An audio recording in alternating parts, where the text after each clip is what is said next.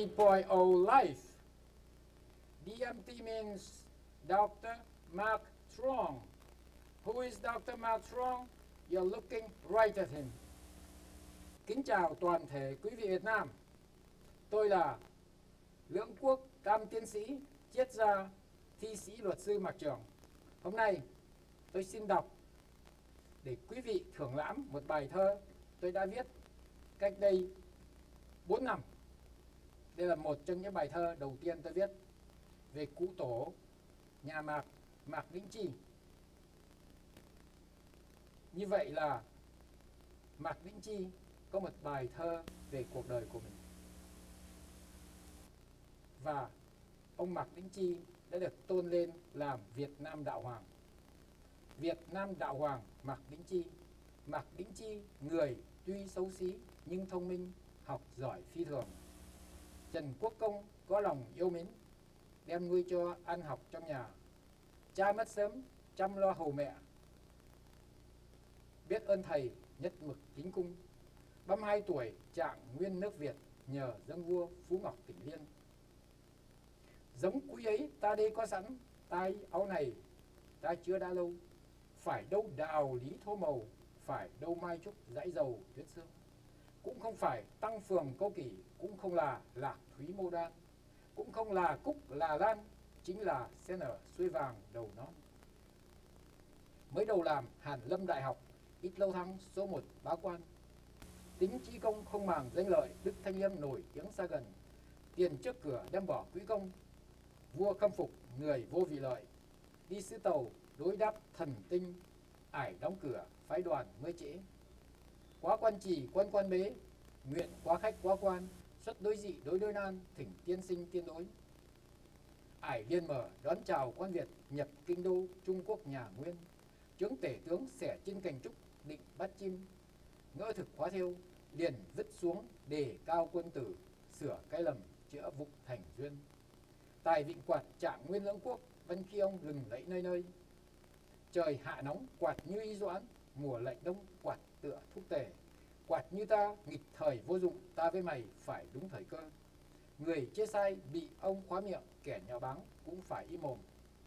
Vi ly võng lượng tứ tiểu quỷ, cầm sắt tỳ bà, bát đại vương. Quách tập chi đầu đàm lỗ luận, chi chi vi chi chi, bất chi vi bất chi, thị chi. Qua minh chỉ thượng độc châu thư, lạc giữ độc lạc nhạc, lạc giữ chúng lạc nhạc thuộc lạc. Công chúa chết mời đọc phú thương, chỉ một chữ thành thơ muôn thuở, trong khắc dây dao động xuôi vào. Trời xanh một áng mây, nắng hồng một bông tuyết, ngự uyển một cánh hoa, quảng hàn một vòng nguyệt. Hỡi ôi, mây tán tuyết tan, hoa tàn nguyệt khuyết. Thực châu ngọc, khóc người quá cố khiến vô nguyên giỏ lệ chịu tài. Ra đường phố quan dân kính nể, ai hỗn hào, ông của mắng ngay. Chạm ngựa ta kẻ dợ đông tây, cản lừa người, mạnh ai nam bắc. Nguyên đế kinh trạng tài, ứng đối, tay tuy rất cay cũng phải cười trừ. Trời mây lửa khói khiêu vàng nguyệt, trăng sao cung đạn hạ mặt trời. Thiên tài ông vinh danh nước Việt, khiến Trung Hoa, đâu dám nhờn khinh. Về nước nhà, vua bổ thượng thư, lo việc nước, người người cảm phục. Danh vọng cao, nào màng xa xỉ, tính ông hay, bình dị, khoan hòa. Lo dạy dân, trăm điều, lễ nghĩa, giáo tử phú, truyền tụng cho đời. Miễn được an nhàn, trọng pháp kính thầy, thí bần tác phúc, ăn cơm phải bữa, ai đói thì cho, bát miệng vui lòng, mỗi người một chút kim cương thường độc, bố thí làm duyên. 67 về nhà ưu trí, dựng am sơ trên núi Phượng Hoàng. 7 năm vui dạo chơi thắng cảnh, chợt đi vào lịch sử Việt Nam. Xứng mạc tích, trạng nguyên đời lý, mộng tái sinh, giúp đỡ cho đời. Đến đây là chấm dứt bài thơ về Mạc Đĩnh Chi. Xin hẹn quý vị lại lần sau. Now, we are going to take back the program in English. International IT IT Kính chào toàn thể quý vị. Tôi là Lưỡng Quốc Tam Tiến sĩ, triết gia, luật sư thí sĩ Mạc Trường. Hôm nay xin hân hạnh đọc để quý vị thưởng lãm một vài vần thơ mà tôi đã làm cách đây lâu. Bài này về trời Phật. Trời Phật cao siêu ngụ ý gì? Thân tu gia đức hãy nên ghi. Đánh chuông gõ mõ là tiêu khiển, cánh được gia trang ấy một khi. Trời Phật cao siêu xa kể gì? Xóm làng hương thịnh hãy nên ghi. Ăn chay tụng niệm là chưa đủ, cứu được thai nhân ấy một khi. Trời Phật cao siêu, sự tích gì? Non sông gấm vóc hãy nên ghi. Tu thân tích đức còn vị kỷ, quang phục giang san ấy một khi. Trời Phật cao siêu vượt bậc gì? Thế gian hạnh phúc hãy nên ghi. Hiển linh đắc đạo trò chơi cả, kính quý trọng theo ấy một khi. Mấy vần thơ này nhấn mạnh là Việt tử, tức là những người Việt Nam theo Việt Nam đạo, phải nhấn mạnh ở điểm là không đánh chung gõ mõ, vì cái đó chỉ là trò tiêu khiển, mà phải gánh được gia trang ấy một khi, tức là phải làm việc để mà phụng sự được cho chính gia đình mình. Sau đó ăn chay tiệm niệm cũng không có là đủ, mà phải cứu được tha nhân ấy một khi, tức là chúng ta phải làm việc để hy sinh cho người khác. Bài thứ ba nhấn mạnh là tu thân tích đức còn vị kỷ. Sự thực ra ở đời người ta ai cũng cho là mình phải tu thân tích đức. Thật ra tu thân tích đức cũng vẫn còn là vị kỷ. Tại tu thân tích đức cũng vẫn chỉ có là làm việc cho chính mình chứ không phải làm việc cho người khác. Quang phục giang san ấy một khi, cái đó mới là quan trọng. Việc làm việc để mà phụng sự cho đất nước, xây dựng tiến lên, đó là điều quan trọng. Chứ không phải tu thân tích đức tu thân tích đức còn là vị trí. Hiển linh đắc đạo trò chơi cả tín quý trọng theo ấy một khi tức là chúng ta phải theo tín quý trọng đó là chuyện quan trọng. Chứ còn hiển linh đắc đạo thì không có quan trọng. Tại sao hiển linh đắc đạo lại không quan trọng bằng tín quý trọng? Là vì hiển linh đắc đạo, lại cũng chỉ là giải thoát cho chính mình, cá nhân mình, chứ không hề làm việc cho kẻ khác. Tín quý trọng theo là con đường sống ở đời. Tín là nói sau làm vậy. Không có lừa dối lừa dối ai cả, phải thành thực với chính mình và chính người. Quý là làm việc để mà phụng sự cho chính mình và kẻ khác. Trọng là phải tôn trọng thể xác, tài sản và tự do của con người đó là những vần thơ về tính quý trọng của Việt Nam Đạo. Đến đây, xin hẹn quý vị lại lần sau. Và nhất là quý vị nên đón để coi Việt Nam Đạo truyền hình chương trình Việt Văn Minh Đại Việt ở Việt Nam sẽ có một ngày gần đây chúng ta sẽ thực hiện để phục vụ toàn thể các khán giả Việt Nam. Chương trình này sẽ do tiến sĩ triết gia luật sư Mạc Trường của Việt Nam Đạo thực hiện và chịu trách nhiệm. Now, let me get back to the English part. Where's Ralph?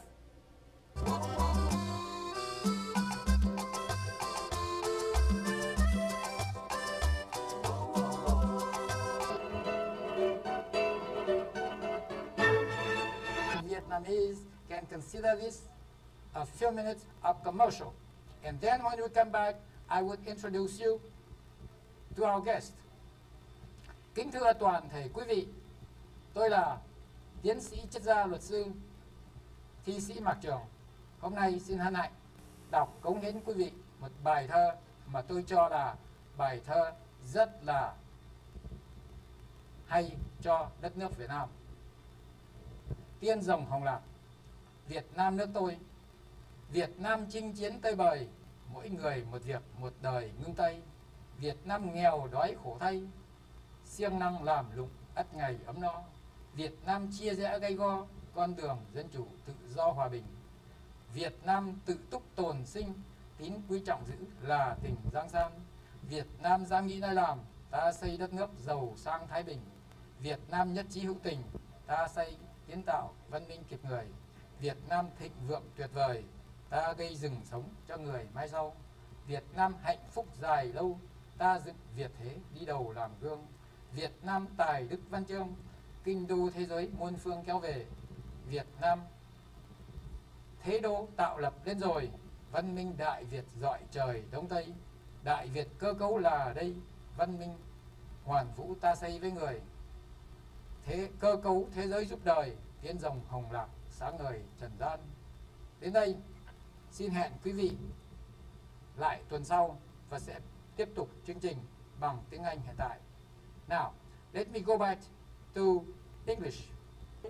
I would start with a poem in Vietnamese that I wrote some time ago about the reincarnation of a man into the next life. Kiếp sau thân hết làm người, thành cây sống hiện giữa trời bao la. Tổ tiên con cháu mỗi nhà, già vừa bén rễ, trẻ ra lộc đời. Tổ tiên gieo đức nơi nơi, cháu con gặt phước đời đời hanh thông. Từng cây ta gắng vun trồng, muôn cây hợp lại gây rừng sống thiêng. Nhà nhà thọ lộc bình yên, Bắc Nam hạnh phúc, căn nguyên tiên rồng. This is the poem about the tree of life that I have invented about 10 years ago. And I was granted a patent. And my patent on the tree of life was praised by the New York Life, uh, New York Times in 1999. Kính chào toàn thể quý vị khán thính giả Việt Nam. Tôi là luật sư Mạc Trường. Hôm nay xin đọc để quý vị thưởng lãm một bài thơ tôi làm đặt tên là Cha mẹ tôi. Thân phụ tôi vốn người cao cả, mang chi tâm phụng sự nước nhà. Đời bốn ba qua hai thế chiến, trên 60 mới được an nhàn. Từ thiếu thời, người hay sáng tác những bài thơ xúc tích sự đời. Nhờ phận khoa này được đỗ, nghĩ như mình chất lỗ cũng là hay. Tú tài xưa, tú tài nay, cũng công học thi mỗi ngày một khác. Nhớ thủa 10 năm về trước, hãy còn bé dại mực thước theo thầy. Mấy phen thủi cực lòng thay, có công mài sắt, có ngày nên kim. Núi hô khuất, khôn tìm lại được, bóng từ còn, lộc nước là vinh. Cho hay tạo quá hữu tình, những người hành đạo trước dành chuyên chuyên, bất phụ hoàng thiên. núi hố khuất là cha đã chết. Bóng từ còn là mẹ, hãy còn sống. Đây là bài thơ thứ nhì của thân phụ tôi. Tham biện bổ rồi lại bổ quan, thân vinh gia hiển thật hân hoan. Thanh cần chữ nọ còn kia mãi, nhân nghĩa điều kia sẽ giữ toàn ô lại tham quan đang nhũng nhiễu, an tàn. An dân thiện chính phải lo toan. Đỉnh chung được hưởng sao cho xứng. Nước thịnh dân cường, giả mới an. Trải tay chí ở cho bền, công danh sự nghiệp làm nên anh hào. Thua không nản thắng không kiêu chỉ nên nói ít làm nhiều mới hay. Thận trọng là tính cần thay, biết cho thật rõ mình người ra sao thời cơ thuận nghịch thế nào, tinh thần trong sạch, đường hoàng thanh cao. Việc làm quả quyết mới cao, khó khăn chẳng quản, công lao chẳng cần. Thương người như thể thương thân. Có lòng đại độ khoan nhân mới là. Ở cho chọn đạo người ta, tâm yên chẳng sợ gian tà ghét trên việc đời há quản chế khen, chỉ lo đức mọn tài hèn mà thôi. Mấy câu ra vấn con ơi suốt đời ghi nhớ ắt thời hiển vinh suốt đời ghi nhớ ắt thời yên vui. Mừng tết năm nay được ở nhà đoàn viên sum họp thỏa lòng ta buổi đầu độc lập mừng cho nước, quyết chiến rồi đây phải thắng mà. Bài này làm từ năm 1946 ở làng Giang Cao, huyện Gia Bình, tỉnh Bắc Ninh, Bắc Việt Việt Nam đông qua xuân tới, một năm tròn, kháng chiến toàn dân giải nước non xây vững từ nay, nền độc lập, thực dân tiêu diệt nước Nam còn. Thực dân tiêu diệt nước Nam còn, trăm họ tương bừng khắp nước non, kiến thiết gia công cho trong tiến, Việt Nam hưng thịnh, được vuông tròn. Đinh hợi mùng 2 tháng chạp này, làng ta hợp nhất kể từ đây xưa kia chót đã ganh đua mãi, nay lại cùng nhau thỏa thuận ngay. Tục lệ có chi là bất dịch tây thời, tùy thời thay đổi mới là hay. Trẻ già trên dưới đều vui phận, cùng hưởng lâu dài quả phúc nay cùng hưởng lâu dài quả phúc nay, bao năm gây dựng mấy nên đây, hào cường ngạo ngược đâm lòng giận. Tục hủ suy đồi, quyết chi thay hiểu lẽ thuận hòa, âu cũng khó cập thời cải tạo thật là may. Dân thuần tục mỹ làm hưng thịnh, phong hóa nêu cao, thỏa nguyện ngày đây là bài thơ chót tôi sẽ đọc ngày hôm nay. Quan sang sao lại phải từ nan, gàn nhát chứ sao, miệng thế gian. Gàn ngốc xin vâng đành chịu tiếng, nhát hèn dám cãi thực là oan. Chẳng qua đã trải đời công chức, bó buộc nhiều khi tức nổ gan danh lợi, tranh đua thời pháp thuộc, nào ai có hiểu cảnh làm quan đây là những bài thơ của thân phụ tôi đã làm từ thời chiến tranh và từ năm khoảng 1950 cho đến 1960 rồi sau đó lại làm rất nhiều bài cho đến tận năm 1990 trước khi thân phụ tôi mất. Tôi xin hẹn quý vị lại đến tuần sau, cũng giờ này. Và xin quý vị nói cho tất cả mọi đồng bào khác đón coi chương trình này mỗi thứ bảy từ 5 giờ tới 6 giờ chiều trên diaspo haitidiaspo.com edition by reading to you a poem in Vietnamese. And this time the poem is about another one of my brother and I will explain to, to you why I make so many poems about my brothers. It is in Vietnamese, so you can enjoy it slowly. I would read it very carefully and it would be very easy to understand. Anh hai tôi vốn sinh hữu cảnh, đổi hữu khanh, nể bố vợ mình. Năm 31 giữa hai thế chiến, chưa lớn lên nước hết thanh bình. Lấy vợ sớm nhưng đời lưu lạc, xa anh em cha mẹ gia đình. 23 tuổi tìm về quê cũ, thấy vợ hiền vẫn ngóng đợi trông Nhưng đại gia phải thời lý loạn, đã di cư cách biệt ngàn trùng. Lệ buông rơi nhưng lòng tự nhủ, quyết xây đời đúng mẫu mẹ cha. Giữ đơn sơ không màng danh lợi, gốc thanh liêm, lập nghiệp chuyên cần. Năm 94 gia đình đại biến, con thứ hai tử nạn cả nhà. Choáng váng tai như trời đất dập, khổ vỡ tim ác mộng nào bằng. Nhờ con khác thành công hiếu thảo mới bất lòng sinh dưỡng lắng lo. 70 tuổi nhìn đời nghĩ lại được tự hào không thẹn tổ tiên. Nhưng đau đớn mẹ cha yêu dấu đã qua đời khôn ngưỡng dung an. Đoan trang thi sĩ trong nhà hứng thơ vận lại mận mà tình thương. Đoan trang chị đáp thi rồi toàn ra đồng cảm một lời yêu anh. Năm lẻ một vợ hiền bảo bệnh. Bác sĩ mổ cắt hết ruột già. Tuy quặn đau lòng người sao chịu vẫn kiên tâm giành lại cuộc đời. Anh tôi thật xứng làm người hiện thân nước việt một trời khổ đau. Mong anh cùng mẹ quê sầu vững chân đủ sức qua cầu bình yên.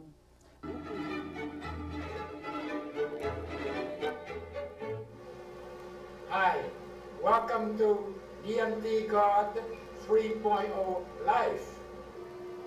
Anh ba tôi Mạc Hữu Khánh. Anh ba tôi tên là hữu khánh, nhưng hữu hạnh mới đúng tính hạnh kẻ biên tàu tuy là dân việt, khi lớn lên học giỏi hơn người, tin khoa học, tinh thần quần lý công văn chương, thi phú dường dở được đi pháp học ngành hải chiến, may lại đau phải nghỉ bỏ trường chuyển qua ngành vật lý hàng mong đỗ tiến sĩ quốc gia nguyên tử ở Paris Pháp Quốc hàng đầu, rồi say mê tìm tòi khám phá những cái hay mới lạ trong ngành. Nghiên cứu cho trung tâm nguyên tử của Âu Châu Thụy Sĩ Geneva và giám đốc kiếm tìm khoa học tại trung tâm pháp quốc Paris Năm 75 lại sang châu Mỹ, đến Berkeley, Stanford học đường, cùng nhóm người trong ngành nguyên tử, phá Lipton và Warszawa có danh giật Nobel hai giải và tối danh dự khoa học hai bằng. Sau lại về Âu Châu làm việc, sống cuộc đời nghĩa đi thanh tao với vợ con gia đình bạn hữu đứng trên rồng lành mạnh treo gương. Tính anh hiền, người người quý mến, yêu quý lời tốt đẹp của anh. Chị đoan trang tâm hồn nghị sĩ, mượn vần thơ diễn cảm nghĩa mình đến ba lê một buổi sáng mùa xuân trời nắng đẹp cỏ cây xanh tươi tốt đoàn du khách rộn ràng mừng năm mới. Mình, chú đang đứng đợi ở hành lang. Nở nụ cười mừng, đón thật ân cần quên sao được thời gian sao xuân ấy. Trên xa lộ đường về nhà tôi thấy, chú lái xe tốc độ chạy không mau. Nhưng ngân dài giao cảm lúc gặp nhau, tôi biết chú là người giàu tình cảm. Chú đã khóc khi nghe tin di tản với ông bà, chú rất thương yêu. Với con cháu, chú thương quý cưng chiều, nhà của trên sườn đồi khoai ngoại tường sáng nhạt đá màu đen lập mái có dốc dài cây cỏ mọc hai bên. Sống nơi đây cảnh vật thật êm đềm trong màu sắc thanh thiên và trang nhã rất hợp tính chủ nhân chú khách ạ. Biết bao năm du học tự lo thân biết bao năm kiên trí với nhọc nhằn bằng tiến sĩ chuyên ngành nguyên tử của nước pháp vào tay chú đúng lúc đám phô trương làm nước họ hàng đau, nhưng khiêm nhường chú vẫn giữ nước nhà biết trân trọng tình xưa và nghĩa cảm biết giúp đỡ anh em khi vất vả. Những lúc cần chú chẳng tiếc gì ai. Từ thuở xưa cho tới tận hôm nay, quên sao được những ngày thân ai cũ. Nhìn, năm tháng dần trôi đi nhanh quá với đây mà chú đã nghỉ hưu. Tuổi nhiều rồi, chị chẳng muốn đi đâu trước bàn phật cầu nguyện cho cô chú. Được mạnh khỏe, an vui cùng hạnh phúc các trong ngoan, theo bước tiến hơn anh ở bên này anh chị được bình yên khi nào việc mời. Qua chơi nhé. Năm 93 mời về quê cũ làm hội thảo khoa học quốc gia, chính chủ tịch Đức Anh thân thiết gọi trong trang một nhân dân, danh tiếng Anh trong ngành vật lý. Nguyên tử là quốc tế hàng đầu. Năm 98 anh tôi hiếu trí xin chúc anh trường thọ vui đời. Rất có thể anh tôi cũng đang ngó chương trình này cùng với toàn thể quý vị và xin kính chào toàn thể quý vị sau đây tôi lại trở lại chương trình bằng tiếng Anh kính thưa toàn thể quý vị, tôi là tiến sĩ triết gia, luật sư, thi sĩ Mạc Trường hôm nay, xin cống hiến quý vị một vài tư tưởng trong Việt Nam Đạo. Tôi sẽ duyệt lại một vài vần thơ và những ý tưởng trong Ai mơ hồn Việt, một quyển sách đã được in ra từ năm 2003. Ai ơi, con cháu rồng tiên, hãy nâng tín quý trọng lên cứu đời. Đó là câu thơ ở trong Việt Nam Đạo Mộng Hồn Việt. Việt Nam đã có thiên tài vươn lên cương quyết phục hưng tiên rồng. Thiên tài đây không phải là tác giả mà cũng không phải là một cá nhân nào cả. Thiên tài đây là mỗi người dân Việt muốn kiêu hùng sống lại những trang sử vẻ vang của Tổ quốc kính yêu. Bằng cách quyết tâm từ nay sẽ sống theo ba nguyên tắc tín quý trọng của Việt Nam đạo và trở thành hàng ngàn, hàng vạn, hàng triệu Việt tử tham dự vào bộ óc tập thể lãnh đạo Việt Nam, cai trị đất nước bằng luật pháp, công minh chính đại hoàn toàn dựa trên tín quý trọng, làm chủ lấy vận mệnh của chính mình, gia đình và dân tộc mình. Đem lý trí và ý chí phục vụ con tim, cố gắng thực hiện một xã hội Việt Nam lý tưởng trên căn bản dân chủ tự do pháp trị, dám nghĩ, dám nói, dám làm, sẵn sàng chịu trách nhiệm cho lời nói và hành động của mình. Đó là thiên tài trong mỗi người dân đất Việt kiêu hùng. Đó là con đường sống, đạo của chúng ta để cùng nhau xây dựng lại quê hương. Đó là thiên tài vẫn tiềm ẩn trong mỗi người dân Việt chúng ta.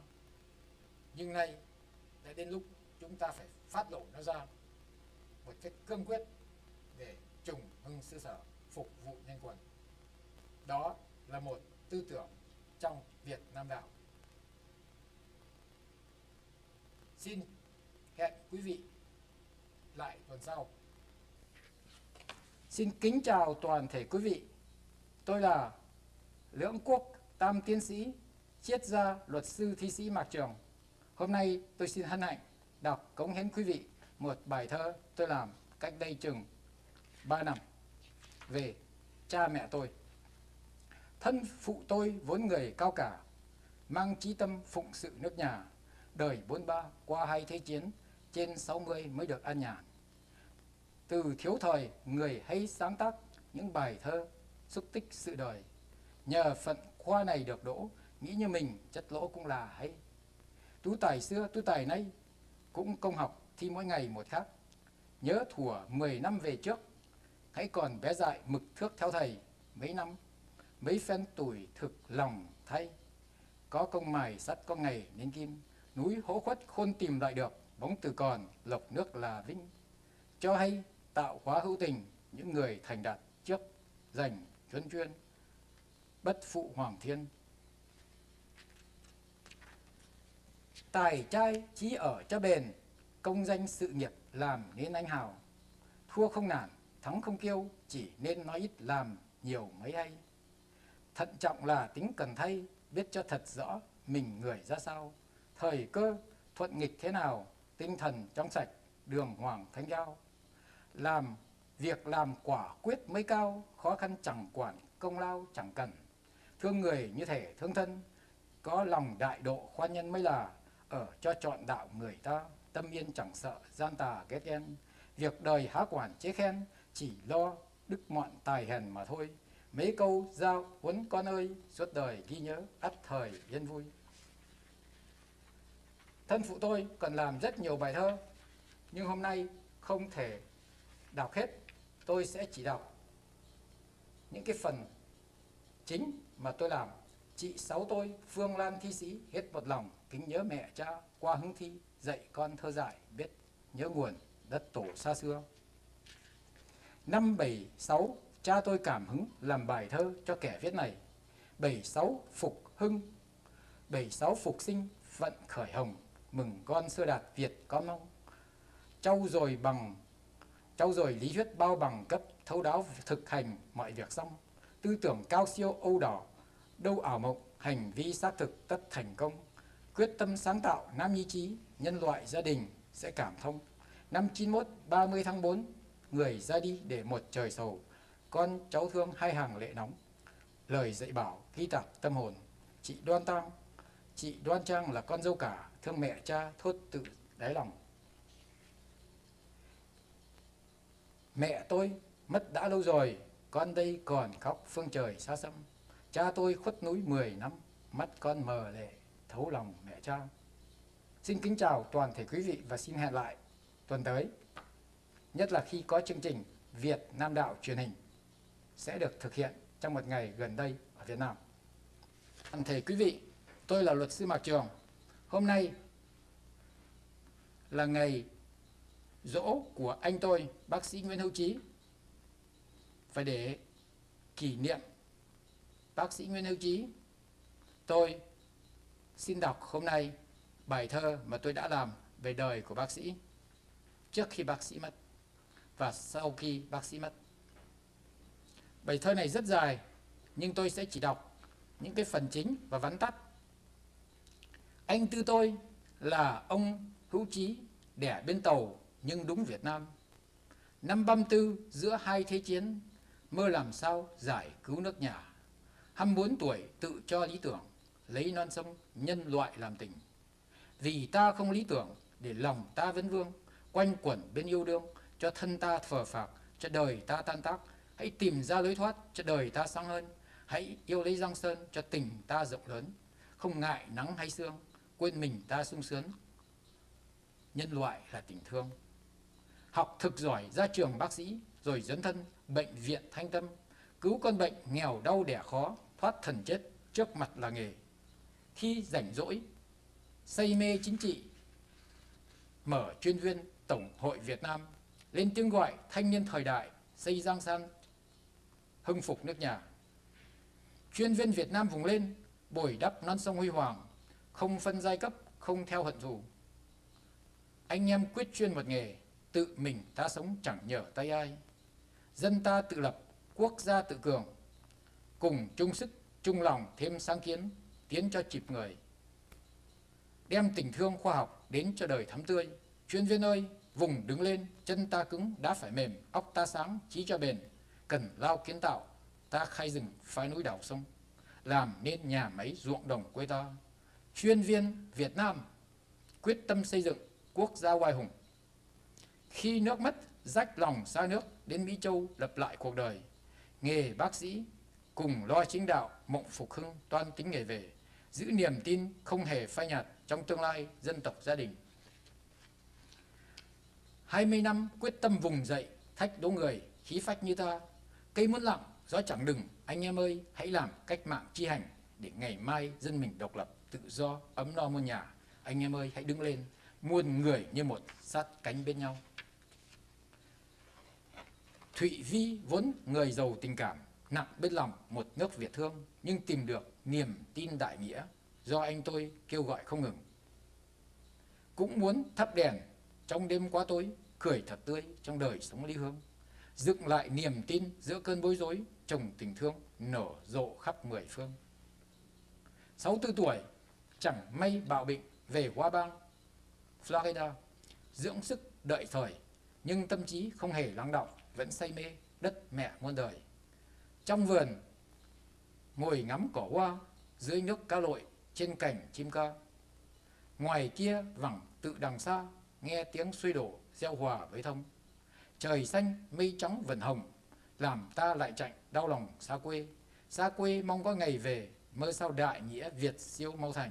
Tuổi ta nay đã sáu tư, mong con cháu tự theo đường ta đi. Can đảm yêu thương đoàn kết, tay trải, trai tài, gái sắc, thông minh hiền hòa. Thế là sống trọn đời ta đi từ trái đất tiến vào thiên thai. Chẳng cần canh tị cùng ai, chỉ cầu nhân loại vui tươi thái bình. Kêu gọi người về cùng lập nghiệp tại khoa bang xinh đẹp Thanh Bình, mộng lập làng hùng vương sung túc, hội con cháu hồng lạc ly hương. Nguyễn Đình Thi cũng người yêu nước, kiến trúc sư kinh nghiệm lâu đời, theo cảm hứng tìm về ủng hộ tính gỡ lòng hiện thế Việt Nam. Linh hồn Việt ngàn đời rạng rỡ, giống tiên rồng, mãi mãi vươn lên, bậc tiền nhân công lao muôn thuở. Giới hậu sinh trí tuệ có thừa, một duyên lành ngày mai lại đến nơi tha phương tạo dựng cơ đồ. Nghiêm lệ quyên tâm hồn lãng mạn, cảm kích lòng bác sĩ hảo thâm. Tôi đến đây một chiều xuân nắng ấm, Nguyễn Gia Trang đồ sộ ở cuối đường. Mái ngói đỏ nổi bật giữa hàng dương, hàng thông xanh reo. trùng xe tình tự. Tôi đến đây một chiều không tư lự, nắng nghiêng mình, hàng nhãn lá đong đưa. Cà pháo trắng ngò xanh đang độ lứa, nhờ bàn tay vợ bác sĩ vun trồng. Tôi đến đây thấy phơi phới trong lòng, quyết định chọn nơi này làm điểm tựa. Trình Vi vốn tính người lưu luyến, kính thương anh chị trí hào hùng. Muốn như kình ngư với vùng bốn bể, muốn giang tay ôm trọn cả bầu trời. Thân bé nhỏ tàn hơi hơi tàn, thân bé nhỏ sức tàn hơi thở mỏng, nhưng trái tim vẫn rực lửa kiêu hùng. Yêu nước tâm tư đầy huyết nóng, nhịp đập âm vang mối nước non, không nản chí dù gối mòn chân mỏi, vẫn hiên ngang dù thương tích đầy thân. Và tôi đây mang dòng máu lạc hồng và khối óc không thẹn thùa dân Việt. Ông Võ Viên là bô lão Việt, đến nhà anh cùng với phái đoàn cộng đồng Việt Hoa Bang cao tuổi lại chạnh lòng nhớ tổ xa xưa. Anh từ phương Bắc mới về đây, kể đã bốn thu ở chỗ này, sự nghiệp vẻ vang nơi đất khách, cửa nhà lộng lẫy dưới ngàn cây. Làng Hùng được dựng tại nơi đây, tưởng nhớ tiền nhân viễn xứ này. Nguồn cội tổ tông dòng lạc Việt cùng nhau xây dựng giữa trời Tây, cứ tưởng rằng đây đất tổ tông dẫu xa ngàn dặm vẫn con rồng hãy cùng chung sức thay đời mới dạng giữa năm châu giống lạc hồng. Anh tôi thật xứng làm người, kiên tâm bền trí tạo thời tiến lên. Mừng anh sức khỏe cộng hồi, phục hồi, sống lâu chỉ đạo những người dựng xây.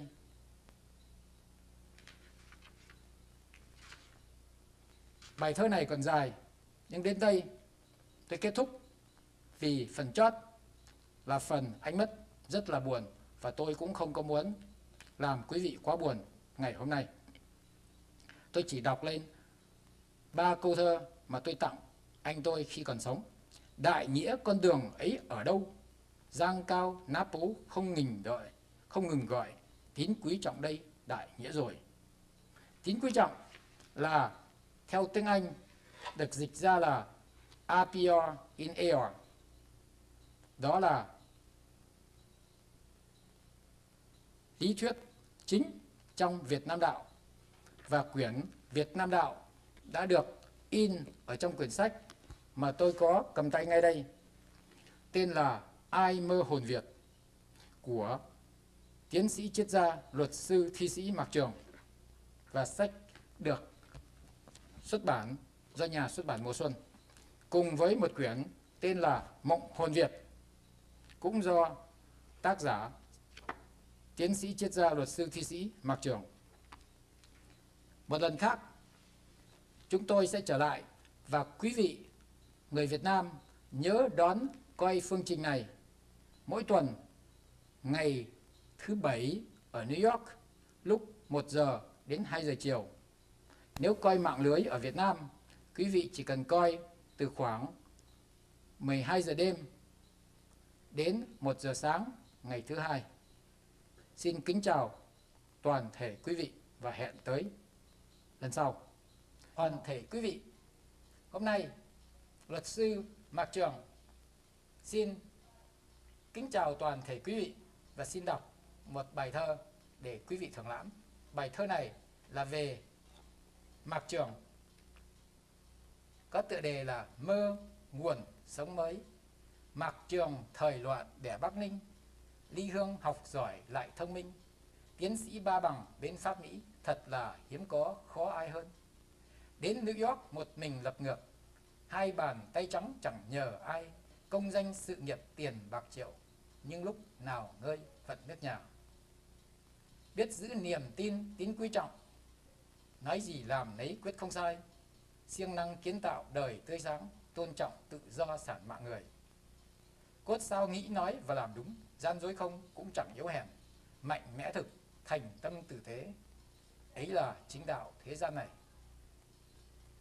Triết gia cha đẻ tương tuyệt đối con đường hành động quyết thực thi việt nam đạo chỉ đường khai lối, kinh đô thế giới dọi đèn đi mai này nhân loại đạt thái bình, cơ cấu văn minh đại việt mình, vũ trụ cộng hòa toàn thế giới ấy nhờ siêu việt đạo tiên sinh nào, let me go back to English. Welcome to DMT God 3.0 Life. DMT means Dr. Matt And who is Dr. Matt You're looking at him. God 3.0 means God is upgraded to the system 3.0 and life means you can go in with the telephone number on the screen and talk to us. So that that is a big privilege that everybody has now to call DMT God Life. And I would remind you that this television program is broadcasting all over the world. All people in Haiti, in Vietnam, in China, and Korea, etc., can watch us. So let's first talk about the problem of racism. Two days ago, I had a black man who came to my office. Not for me. He's hanging around near the area of my secretary. And then when I passed by, he said something to my secretary. And then he addressed to me and he said, do you want me to translate that for, your, uh, for you or for your secretary to understand. I say, why? He said, because I speak to her in Chinese. By the way, my secretary is Haitian. I say, no, no need to. Then he talked to me in something. I say, what's that? And he say, that's Korean. I say, no. To save your time, you don't have to speak to me in Chinese or in Korean. You can speak to me in Vietnamese if you can. And I say, oh, I cannot speak Vietnamese, but I can tell you one thing. I was a war veteran and I went to Vietnam to fight. But I did not learn Vietnamese. And I say, that's exactly why you lost the war. And he say, no, it's not because of that reason. I say, I'm just kidding. But by the way, speaking about Vietnamese, I'm going to read to you now a poem in Vietnamese that I have made. One of my first poems. Mạc Đĩnh Chi, người tuy xấu xí nhưng thông minh học giỏi phi thường. Trần Quốc Công có lòng yêu mến, đem nuôi cho ăn học trong nhà. Cha mất sớm chăm lo hầu mẹ, biết ơn thầy, nhất mực kính cung. Băm hai tuổi trạng nguyên nước Việt, nhờ dâng vua Phú Ngọc Tỉnh Liên. Giống quý ấy ta đây có sẵn, tay áo này ta chưa đa đâu. Phải đâu đào lý thu màu, phải đâu mai trúc dãi dầu tuyết sương. Cũng không phải tăng phường câu kỳ, cũng không là lạc thúy mô đan, cũng không là cúc là lan, chính là sen ở suối vàng đầu non. I stop here. I'm not going to finish the whole thing. And I guess that 80 million Vietnamese would be able to listen to me. Now, this poem I wrote about one of my ancestor in Vietnam. And this one of my ancestor was known to be the greatest intellectual in the whole history of Vietnam. What did he do first? When he was a young man, he was known to be very ugly. So ugly that they insulted him by saying that his father was an ape raping his mother. That's not all the story. But anyway, he was exceptionally smart, like a genius. At 32 years of age, he became the most, the best PhD in the whole country. And then he became a Mandarin, working for the king, and he climbed to the top of the level of the employees of the king. After that, he was sent as ambassador of Vietnam to China. Now, this is special because China at that time was run by the Mongolese, the Mongol. Those guys were run by Genghis Khan and the children of Genghis Khan. So that's something else. Where also there's a lot of other countries that were conquered by China at that time. And this is special because he went there as ambassador of Vietnam to China in the court of the Emperor of China at that time. After Vietnam has defeated the Mongol invasion not once but twice. And that was in history of all mankind the only one country that defeated the Mongol at that time who sent horsemen to conquer Europe, as everybody knows. So the Mongol governed the world except Vietnam at that time. So that was connected with the story that the American lost the war in Vietnam. So now, within that context, he still had to fight to show, to defend the honor of Vietnam, and somehow he became also the first graduate of the first PhD in China. So he's known with two PhD and top of the two countries. So when he came back to the country, he was appointed the prime minister of the country. And he became also teacher of the prince. And therefore, after that, when they become king, he was the teacher of the king, which was a very big honor. So that was one of my ancestors, and I make a long poem about his life. And what's good about that is when I cannot sleep, I just revise the poem and before I reached the end, I would surely sleep. So the morality of the story with poem is very unexpected. If anybody who is watching the show and who have problem to sleep, you should learn, make up a poem by yourself or take some poem from a known poet or not known poet and try to revise it before you go to sleep. I guarantee you that it would make you sleep much faster. So now, today we are going on so again to talk about with a guest which the topics of who were the guilty person to commit the most notorious murder in human history. So let me turn first to Pastor Damocles, who is our guest today and who is sleeping right now because he, he was listening to the poem. So, Pastor Damocles, according to you, uh, what is the most notorious murder in human history? Most notorious murder. Yes, Murder. murder in human history. Who are killing. You know, I mean, Mary. So you want to get the other name? Oh, okay. I mean, Mary. Who? Mary. Mary? Yeah. Mary was murdered? She No, was- no, it's need to start telling mother. You have to mother, mother. Kill, Oh, kill. killing- Kill. Oh, are killing others. I told you, he was just waking up. Yes, so many. Murder. I Yeah. proved to you that the poem make him sleep. So right now he just wake up. So let's go. Xin kính chào toàn thể quý vị. Tôi là luật sư Mạc Trường. Hôm nay xin hân hạnh đọc một số những bài thơ của bác sĩ Nguyễn Hữu Trí đã qua đời ngày mùng 7 tháng 5 2003. Đây là một bài thơ do chính bác sĩ đã làm khi mới còn có 24 tuổi trước khi ra trường. Bài thơ này rất có ý nghĩa và tôi rất thích.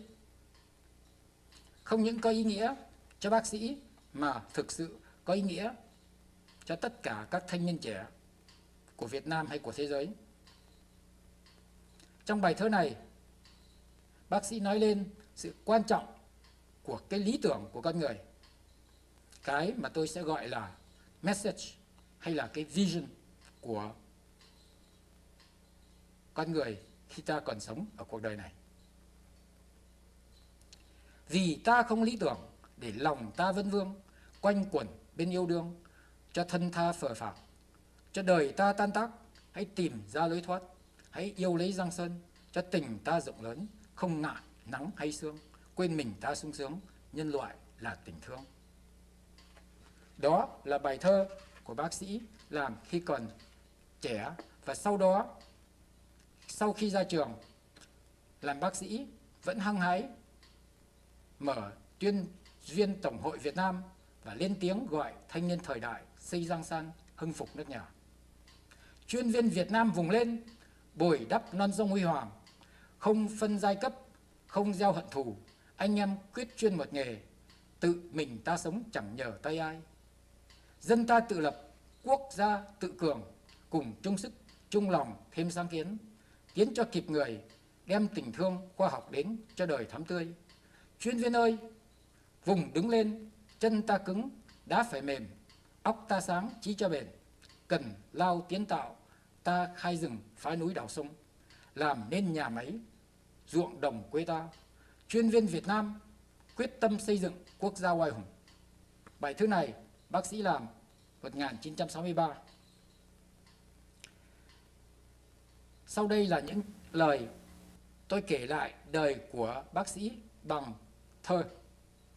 Khi nước mất, rách lòng xa nước đến Mỹ Châu lập lại cuộc đời, nghề bác sĩ cùng lo chính đạo, mộng phục hưng toan tính ngày về, giữ niềm tin không hề phai nhạt trong tương lai dân tộc gia đình.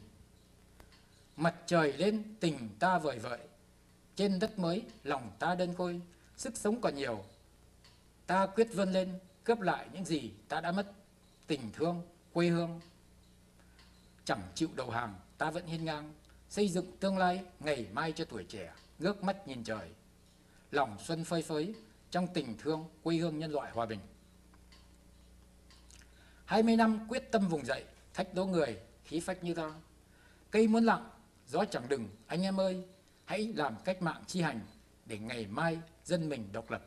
Tự do ấm no muôn nhà, anh em ơi, hãy đứng lên. Muôn người như một, sắt cánh bên nhau, ta cười tin tưởng ngày mai huy hoàng. Hiên ngang, hãy sống nãy làm, ngừng mặt lên, người dân đất Việt. Hiên ngang, quyết tâm xây dựng một thế giới vui tươi hòa bình. Mang thiên hạ ra khỏi lầm than điêu tàn, dám nói dám làm. Đã nói phải làm, anh em ơi, hãy đứng lên. Anh em ơi, hãy đứng lên, hiên như người. Ngày mai cách mạng lên rồi, ngày mai chuyển hướng nơi nơi vui mừng. Không ngừng tiến lên, không ngừng tiến lên, anh em ơi, anh em ơi, không ngừng tiến lên. Ai đã tu thân, ai đã tề ra, hãy đứng lên cùng ta lập quốc. Quốc gia siêu Việt, con đường đại nghĩa, giúp nhân loại vui sống, tự do, ấm no hòa bình. Một đời cho nhân loại thân thương, cho Việt Nam phú cường.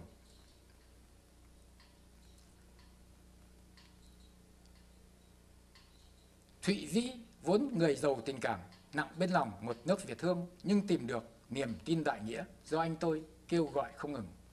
Cũng muốn thắp đèn chêm trong đêm qua tối, cười thật tươi trong đời sống ly hương, dựng lại niềm tin giữa cơn bối rối, trồng tình thương nổ rộ khắp mười phương.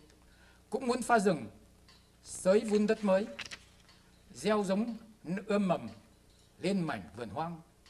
Nhựa sống đầy như nụ non mới mọc, đồng lúa yêu thương nặng chịu hạt vàng. Cũng muốn làm chim bay vào nắng gió, hành trình xa không mỏi cánh phiêu du.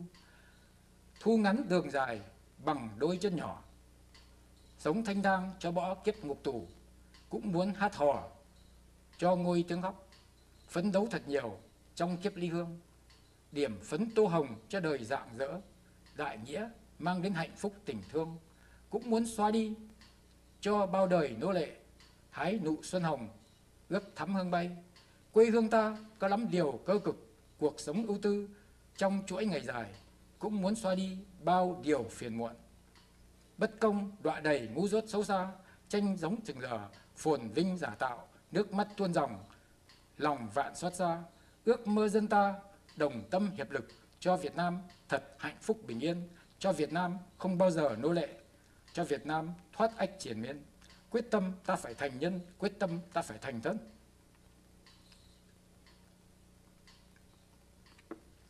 Tạo hạnh phúc cho nước nhà vĩnh cửu.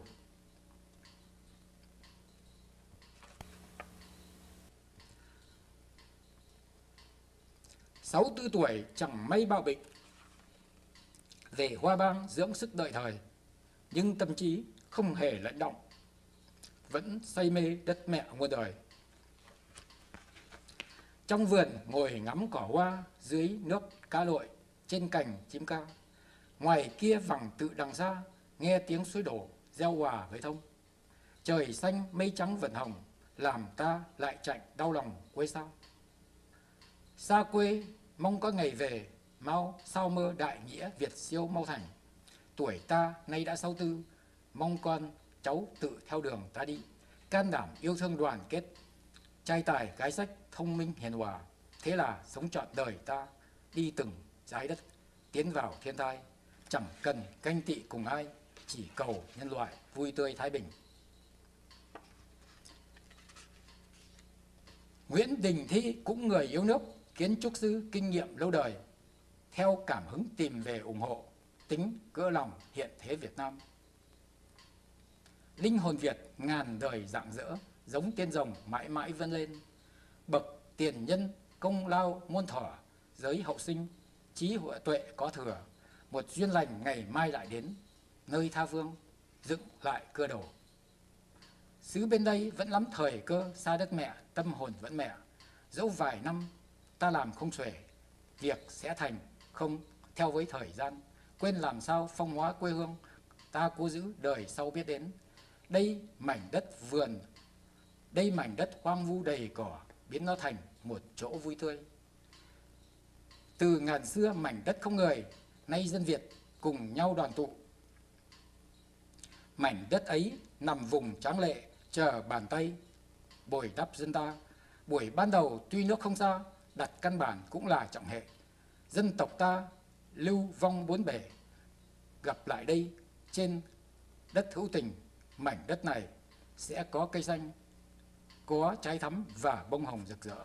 Đất tồn tại với không gian rộng mở, cho tình thương vọng lại quê hương.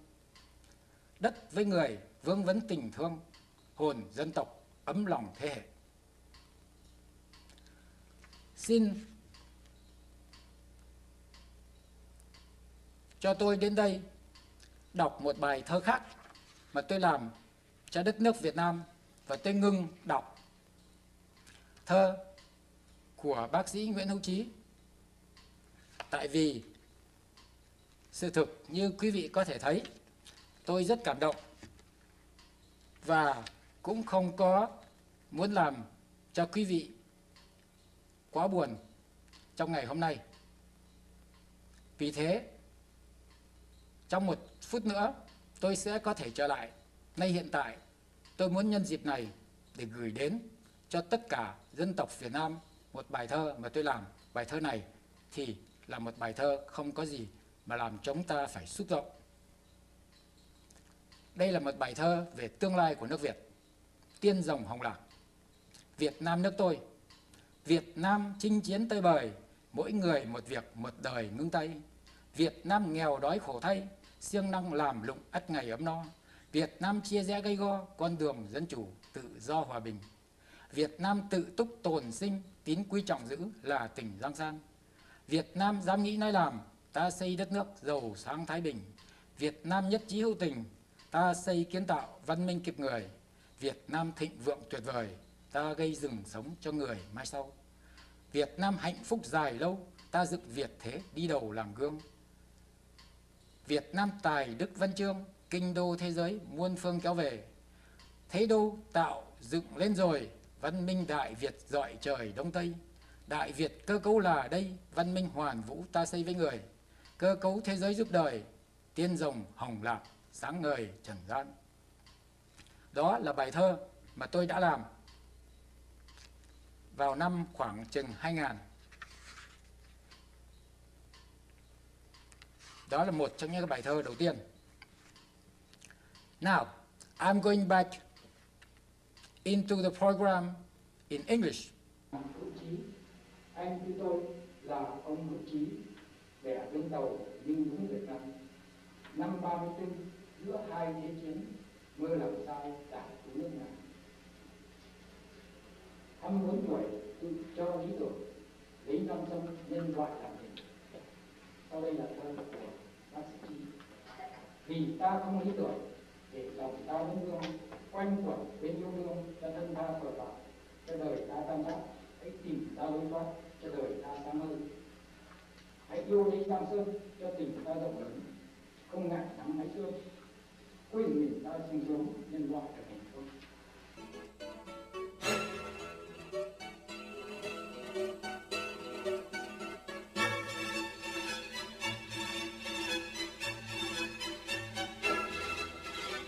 Kính chào toàn thể quý vị. Tôi là luật sư Mạc Trường.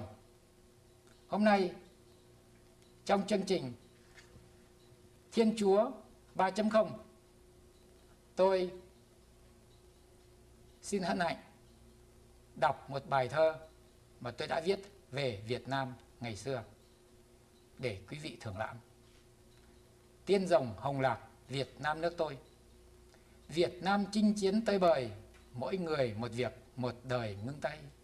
Việt Nam nghèo đói khổ thay, siêng năng làm lụng, ắt ngày ấm no. Việt Nam chia rẽ gây go, con đường dân chủ tự do hòa bình. Việt Nam tự túc tồn sinh, tín quý trọng giữ là tình giang san. Việt Nam dám nghĩ nói làm, ta xây đất nước giàu sang thái bình. Việt Nam nhất trí hữu tình, ta xây kiến tạo văn minh kịp người. Việt Nam thịnh vượng tuyệt vời, ta gây rừng sống cho người mai sau. Việt Nam hạnh phúc dài lâu, ta dựng Việt thế đi đầu làm gương. Việt Nam tài đức văn chương, kinh đô thế giới muôn phương kéo về. Việt Nam tạo lập đến rồi, văn minh Đại Việt dọi trời Đông Tây. Đại Việt cơ cấu là đây, văn minh hoàn vũ ta xây với người. cơ cấu thế giới giúp đời tiên rồng hồng lạc sáng ngời trần gian tôi có thể đọc thêm cái phần chú thích ngày hôm nay kinh đô thế giới hay thế đô có thể xây ở vùng Đà Lạt Cam Danh nếu dân ta ủng hộ chương trình này do Việt Nam Đạo đề nghị. Văn minh Đại Việt là, và cơ cấu Văn minh Đại Việt là tổ chức đất nước Việt Nam theo đường lối dân chủ tự do cộng hòa bình đẳng pháp trị trên nền tảng tín, quý trọng, mạnh và tử tế, toàn dân hưởng một cuộc sống ấm no, hòa bình hạnh vượng, hạnh phúc mỗi người dân là một tế bào não của bộ óc tập thể lãnh đạo Việt Nam văn minh hoàn vũ và cơ cấu thế giới hay cơ cấu văn minh thế giới là tổ chức của cả nhân loại theo đường lối dân chủ tự do cộng hòa bình đẳng, pháp trị trên nền tảng tính quý trọng, mạnh và tử tế. Toàn thể loài người hưởng một cuộc sống ấm no, hòa bình, thịnh vượng, hạnh phúc. Mỗi con người là một tế bào não của bộ óc, tập thể, lãnh đạo Việt Nam. Việt Nam đạo là đạo dựa trên ba chữ tín quý trọng. Tín là nói sao làm vậy, thành thực với chính mình và người khác không lừa đảo ai cả. Quý là siêng năng làm việc sản xuất phục vụ cho chính mình và kẻ khác. Trọng là tôn trọng sinh mạng tài sản và tự do của chính mình và người khác. Khi con người con cháu dòng tiên theo ba chữ tín quý trọng là mọi chuyện sẽ hoàn toàn trong cách thực hiện một nền văn minh mới cho xã hội Việt Nam. Ai ơi, con cháu rồng tiên, hãy nâng tín quý trọng lên cứu đời. Việt Nam đạo Lý trí là khả năng hiểu biết thế nào là phải, thế nào là trái, thế nào là hay, thế nào là dở khi ta sống ở đời. Muốn biết thế nào là hay, dở, phải trái, ta phải có tiêu chuẩn, mực thước rõ ràng để phán đoán, nhận định cho đúng. Tiêu chuẩn đúng hơn cả để phán đoán giá trị mọi của mọi hành động của chính ta và người khác là tín quý trọng. Tín là nói sao làm vậy, thành thực với chính mình và người khác, không lừa đảo ai cả. Quý là siêng năng làm việc sản xuất phục vụ cho chính mình và kẻ khác. Trọng là tôn trọng sinh mạng, tài sản và tự do của chính mình và người khác. Từ lý trí mà tạo ra một hệ thống luật pháp quy củ để cai trị đất nước trên nền tảng tín quý trọng là dùng lý trí phục vụ xã hội quốc gia ý chí là lòng ham muốn thực hiện cho bằng được những gì mà ta cho là đúng là hay là phải theo lý trí nói trên để mà phán đoán cái hay cái dở. Nhiều người biết thế nào là đúng, là hay, là phải, nhưng không đủ nghị lực để thực hiện những điều hay đã phải, là những người thiếu ý chí hay nghị lực để sống ở đời. Ý chí đây là phương tiện tối hậu để chi hành hợp nhất. Con tim con tim đây phải hiểu theo nghĩa là các nhu cầu chính đáng của mình và kẻ khác cần được thỏa mãn để biết thế nào là nhu cầu chính đáng hay không. Ta lại phải theo tiêu chuẩn tín quý trọng, tức là dùng lý trí để phán đoán và ý chí để chi hành hợp nhất.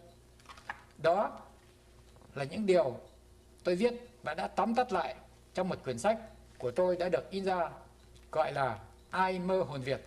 Và cộng với một quyển nữa, gọi là mộng hồn việt, đã có bán ở khắp nơi, ở New York và trên Hoa Kỳ. Đến đây tôi sẽ kính chào toàn thể quý vị và trở lại chương trình này bằng tiếng Anh. Now, I'm going to get back to English. Only the poem of one of my sister, just for the memory of my brother who left us last year. Anh ra đi để vô vàn công tiếc cho gia đình và toàn thể anh em quá nghẹn ngào thật không thể nói thêm ngoài những lời thật tiếc thương đau đớn nguyện cầu anh suối vàng đừng lưu luyến để linh hồn nhẹ tỏa khói hương bay. Con cá lão tử, nếu ta cho cá người ăn người ăn hết cá lại cần đến ta. Chi bằng dạy dỗ người ta cách câu cá lấy để mà kiếm ăn. Như vậy tự họ lập thân. Ta xong việc nghỉ, người ăn cá hoài. Việt nam đạo, không cho ai cá, nhưng hăng say sản xuất cần câu để cho ai có thèm tôm cá chẳng ăn xin mà bụng no cành tín quý trọng là chân chính đạo không giống như con cá giữa dòng nhưng là cái cần câu bắt cá phương tiện hay nuôi dưỡng nhân quần what was it about it was about one of the idea of Lauser That was a nice idea. That's saying that if we give a fish to a person to eat, he would finish the fish and he will go hungry again. But if we teach him to fish, then he may nourish himself for his whole life. Start with a poem in Vietnamese. This one was not done by me, but it's about me. So I can read it to you so you can enjoy it. Mạc Trường thời loạn để Bắc Ninh Ly Hương học giỏi lại thông minh Tiến sĩ ba bằng bên Pháp Mỹ Thực là hiếm có, khó ai hơn. Đến New York một mình lập nghiệp Hai bàn tay trắng chẳng nhờ ai. Công danh sự nghiệp tiền bạc triệu Nhưng lúc nào ngơi vận nước nhà. Biết giữ niềm tin tính quý trọng Nói gì làm nấy quyết không sai. Siêng năng kiến tạo đời tươi sáng tôn trọng tự do sản mạng người. Cốt sao nghĩ nói và làm đúng gian dối không cũng chẳng yếu hèn mạnh mẽ thực thành tâm tử tế. Ấy là chính đạo thế gian này. Triết gia cha đẻ tương tuyệt đối, con đường hành động, quyết thực thi, việt nam đạo chỉ đường khai lối, kinh đô thế giới. Dọi đèn đi. Mai này nhân loại đạt thái bình, cơ cấu văn minh đại việt mình, vũ trụ cộng hòa toàn thế giới. Ấy nhờ siêu việt đạo tiên sinh. These are the poems that were made by those people who know me well and who talk about my life and my ideas. So that doesn't need any translation. Em chào toàn thể quý vị. Tôi là Lưỡng Quốc Tam Tiến Sĩ, triết gia thi sĩ luật sư Mạc Trường. Hôm nay xin hân hạnh đọc để quý vị thưởng lãm một vài bài thơ ở trong quyển Mộng Hồn Việt và trong quyển Ai mơ hồn Việt. Quyển sách này đã được in ra từ năm ngoái và đã được bán ở khắp nơi trên Hoa Kỳ. Có nhiều người được biết, nhưng một số người khác vẫn chưa được biết. Nhưng quyển sách này sẽ có dịp về tới quê hương và vào tay tất cả mọi người dân Việt. Đây là một đoạn trong những cái bài thơ của thân tụ phụ tôi đã làm từ sau thời Thế chiến thứ hai. Thân phụ tôi vốn người cao cả, mang trí tâm phụng sự nước nhà. Đời bốn ba qua hai thế chiến trên 60 mới được an nhàn. Từ thiếu thời, người hay sáng tác những bài thơ xúc tích sự đời. Đây là một vài bài thơ mà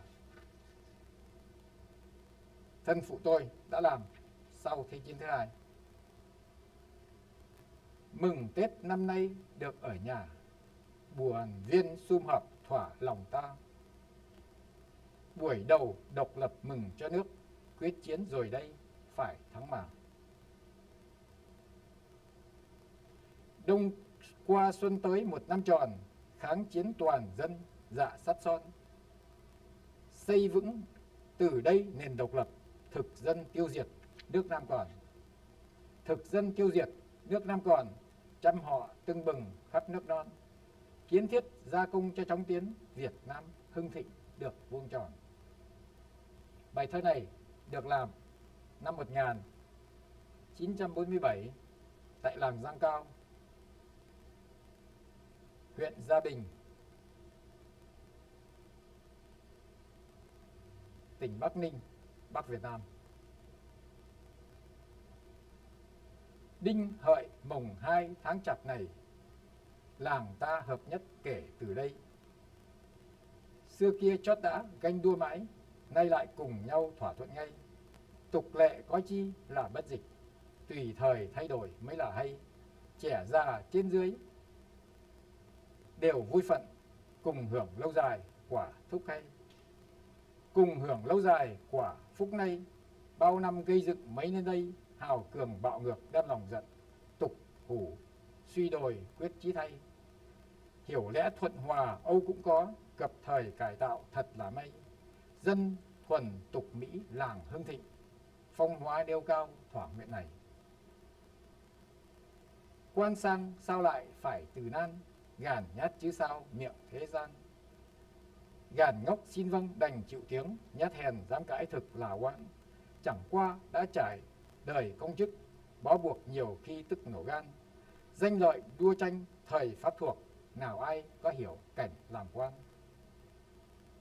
Nhớ vợ, nhớ nhớ con, nhớ cả nhà, nhớ sao, nhớ quá, thế này à mùa màng lò lượng, xong chơi nhỉ? Chẳng thấy ai qua ra. Chẳng thấy ai ra hỏi hỏi qua. Sau đây, tôi xin hẹn quý vị lại tuần tới. Nay xin trở lại chương trình bằng tiếng Anh. Kính thưa toàn thể quý vị, tôi là lưỡng quốc, tam tiến sĩ, triết gia, luật sư, thi sĩ mạc trường. Hôm nay xin hân hạnh đọc một bài thơ để quý vị thưởng lãm bài thơ này. Lấy ở trong quyển ai mơ hồn việt. Quyển sách này đã được in ở bên hoa kỳ và đã được truyền bá khắp mọi nơi. Đây là một trong những cái bài thơ in trong quyển ai mơ hồn việt. Linh hồn việt ngàn đời rạng rỡ, giống dòng tiên mãi mãi vươn lên. Bậc tiền nhân công lao muôn thuở, giới hậu sinh, trí tuệ có thừa. Một duyên lành ngày nay lại đến, nơi tha hương, tạo dựng cơ đồ. Xứ bên đây vẫn lắm thời cơ, xa đất mẹ, tâm hồn vẫn mẹ. Dẫu vài năm ta làm không xuể, việc sẽ thành theo với thời gian. Quên làm sao, phong hóa quê hương ta cố giữ đời sau biết đến. Đây mảnh đất hoang vu đầy cỏ biến nó thành một chỗ vui chơi. Từ ngàn xưa, mảnh đất không người, nay dân việt cùng nhau đoàn tụ. Mảnh đất ấy nằm vùng tráng lệ, chờ bàn tay bồi đắp dân ta. Buổi ban đầu, tuy bước không xa, đặt căn bản cũng là trọng hệ. Dân tộc ta lưu vong bốn bể, gặp lại đây trên đất hữu tình, mảnh đất này sẽ có cây xanh, có trái thắm và bông hồng rực rỡ. Đất tồn tại với không gian rộng mở, cho mình, cho tình mình vọng lại quê hương. Đất với người vương vấn tình thương, hồn dân tộc, ấm lòng thế hệ. Bài thơ này do kiến trúc sư Nguyễn Đình Thi đã làm vào đầu xuân năm 2000 nói về mảnh đất Florida nơi mà một người anh ruột của tôi đã qua đời, bác sĩ Mạc Hữu Trí và cùng với kiến trúc sư Nguyễn Đình Thi, lập làng Hùng Vương. Ở nơi đó, chỗ của anh tôi ở rất là đẹp và cũng có một bô lõi khác của người Việt Nam đã làm một bài thơ như sau. Ông võ viên là bô lão Việt, đến nhà anh cùng với phái đoàn cộng đồng Việt qua bang cao tuổi, lại chạy lòng nhớ tổ xa xưa.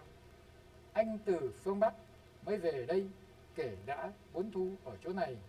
Sự nghiệp vẻ vang nơi đất khách, cửa nhà lộng lẫy dưới ngàn cây. Làng hùng được dựng tại nơi đây, tưởng nhớ tiền nhân viễn sư này. Nguồn cội tổ tông dòng lạc việt cùng nhau xây dựng giữa trời tây. Cứ tưởng rằng đây đất tổ tông dẫu xa ngàn dặm vẫn con rồng hãy cùng chung sức xây đời mới dạng giữa năm châu giống lạc hồng. Đến đây xin hẹn lại quý vị vào tuần tới và cũng sẽ đọc một số bài thơ khác để quý vị thưởng lãm. Now, I'm going back. To the English program in religion.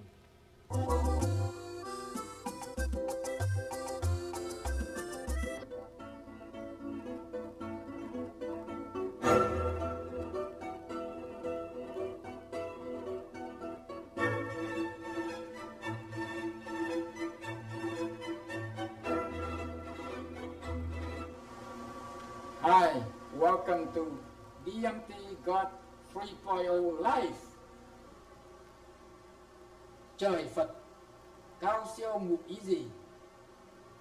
Thân tu gia đức, hãy nên đi. Đánh chuông gõ mõ là tiêu khiển, gánh được gia trang ấy một khi. Trời Phật cao siêu xác kể gì? Sám làm hưng thịnh hãy nên đi. Ăn chay tụng niệm là chưa đủ, cứu được tha nhân ấy một khi. Trời Phật cao siêu sự tích gì? Non sông gấm vóc hãy nên ghi. Tu thân tích đức còn vị kỷ, quang phục lam san ấy một khi. Trời Phật cao siêu vượt bậc gì? Thế gian hạnh phúc hãy nhanh ghi. Hiển linh đắc đạo trò chơi cả, tín quý trọng theo ấy một khi.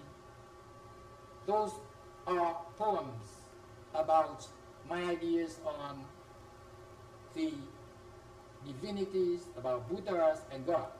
And now, this is a poem about Vietnam, showing where we came from and where we should go. This is the new vision for Vietnam as a country. Việt Nam chinh chiến tơi bời, mỗi người một việc, một đời ngưng tay. Việt Nam nghèo đói khổ thay, siêng năng làm lụng ắt ngày ấm nâu. Việt Nam chia ghẽ dây gông, con đường dân chủ tự do hòa bình. Việt Nam tự túc tồn sinh, tín quý trọng giữ là tình giang sang. Việt Nam dám nghĩ nơi làm, ta xây đất nước giàu sang thái bình. Việt Nam nhất trí hữu tình, ta xây kiến tạo văn minh thịt người. Việt Nam thịnh vượng tuyệt vời, ta gây rừng sống cho người mai sau. Việt Nam hạnh phúc dài lâu, ta dựng Việt thế đi đầu làm gương. Việt Nam tài đức văn chương, kinh đô thế giới, muôn phương kéo về. Thế đô tạo dựng lên rồi, văn minh Đại Việt dọi trời đông Tây. Đại Việt cơ cấu là đây, văn minh hoàn vũ ta xây với người. Cơ cấu thế giới giúp đời, tiên dòng hồng lạc sáng ngời trần gian. We are coming back after this commercial. Don't go away. This is my birthday. You cannot quit.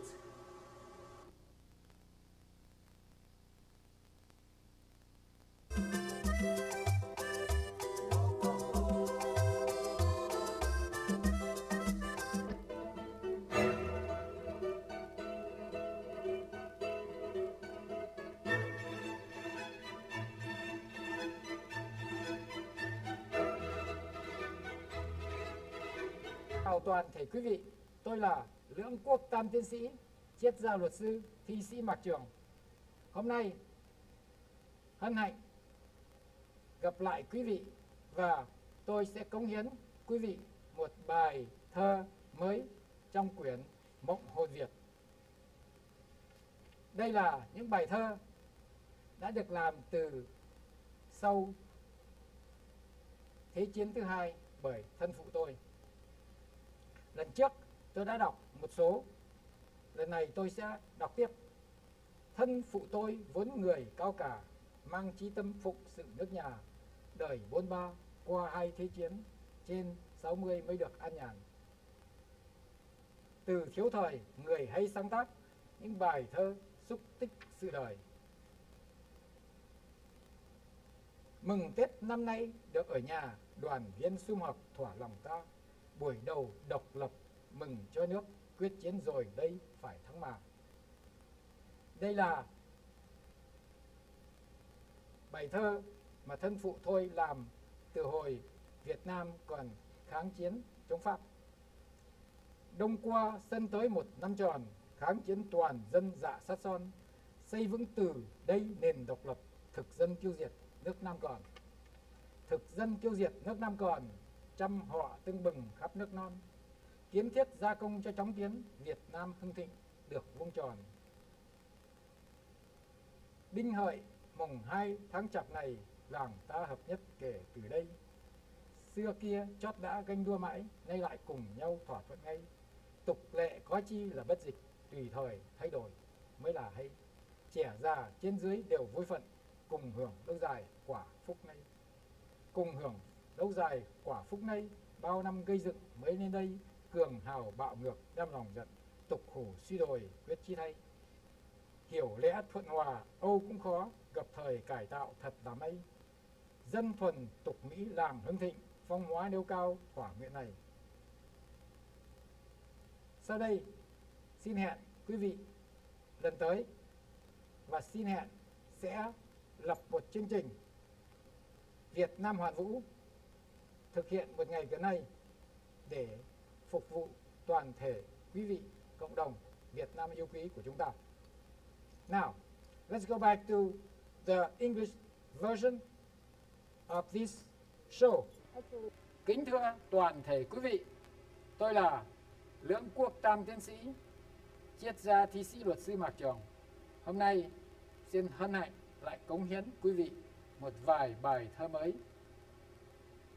Bài thơ này đã được đăng trên quyển Ai mơ hồn Việt và quyển sách Ai mơ hồn Việt cũng như mộng hồn Việt đã được xuất bản tại Hoa Kỳ từ tháng 8 năm 2003 đã được có bán tất cả mọi nơi. Và quyển sách này sẽ về tới tay các quý vị ở Việt Nam trong một ngày rất gần đây. Sự thực quyển sách này đã được gửi tới tặng cho toàn thể các cơ quan cao cấp trong chính phủ Việt Nam. Cha mẹ tôi, thân phụ tôi vẫn người cao cả, mong trí tâm, phụng sự nước nhà, đời bốn ba qua hai thế chiến, trên 60 mới được an nhàn. Từ thiếu thời, người hay sáng tác những bài thơ xúc tích triệu đời. Năm 91, 30 tháng 4, người ra đi để một trời sầu. Con cháu thương hai hàng lệ nóng, lời dạy bảo ghi tạc tâm hồn. Chị Đoan Trang là con dâu cả, thương mẹ cha, thốt tự đáy lòng. Ba tôi là một nhà nho, ra ngoài khăn đóng áo theo quần là. Các con trai gái trong nhà, không ai lại dám trái ba nửa lời. Ba tôi ít nói ít cười, bước đi từ tốn, đứng ngồi khoan thai. Làm dâu, tôi làm dâu đã lâu ngày, chưa bao giờ bị ba giày ba la. Mỗi khi có việc đi đâu, ba thường sắp xếp trước sau chu toàn. Việc nhà me phải lo toan, giúp chồng con cái trong nhà êm xuôi. Mẹ tôi chưa tới 50, dáng người bệ vệ nụ cười như hoa. Dâu con tất cả ngoài 10 hãy còn đi học, chưa ai đi làm. Chất chiêu tần tảo tháng năm, mong con khôn lớn, nên thân với đời, một mình vất vả ngược xuôi, chẳng nhờ ai, chẳng làm ai phiền hà.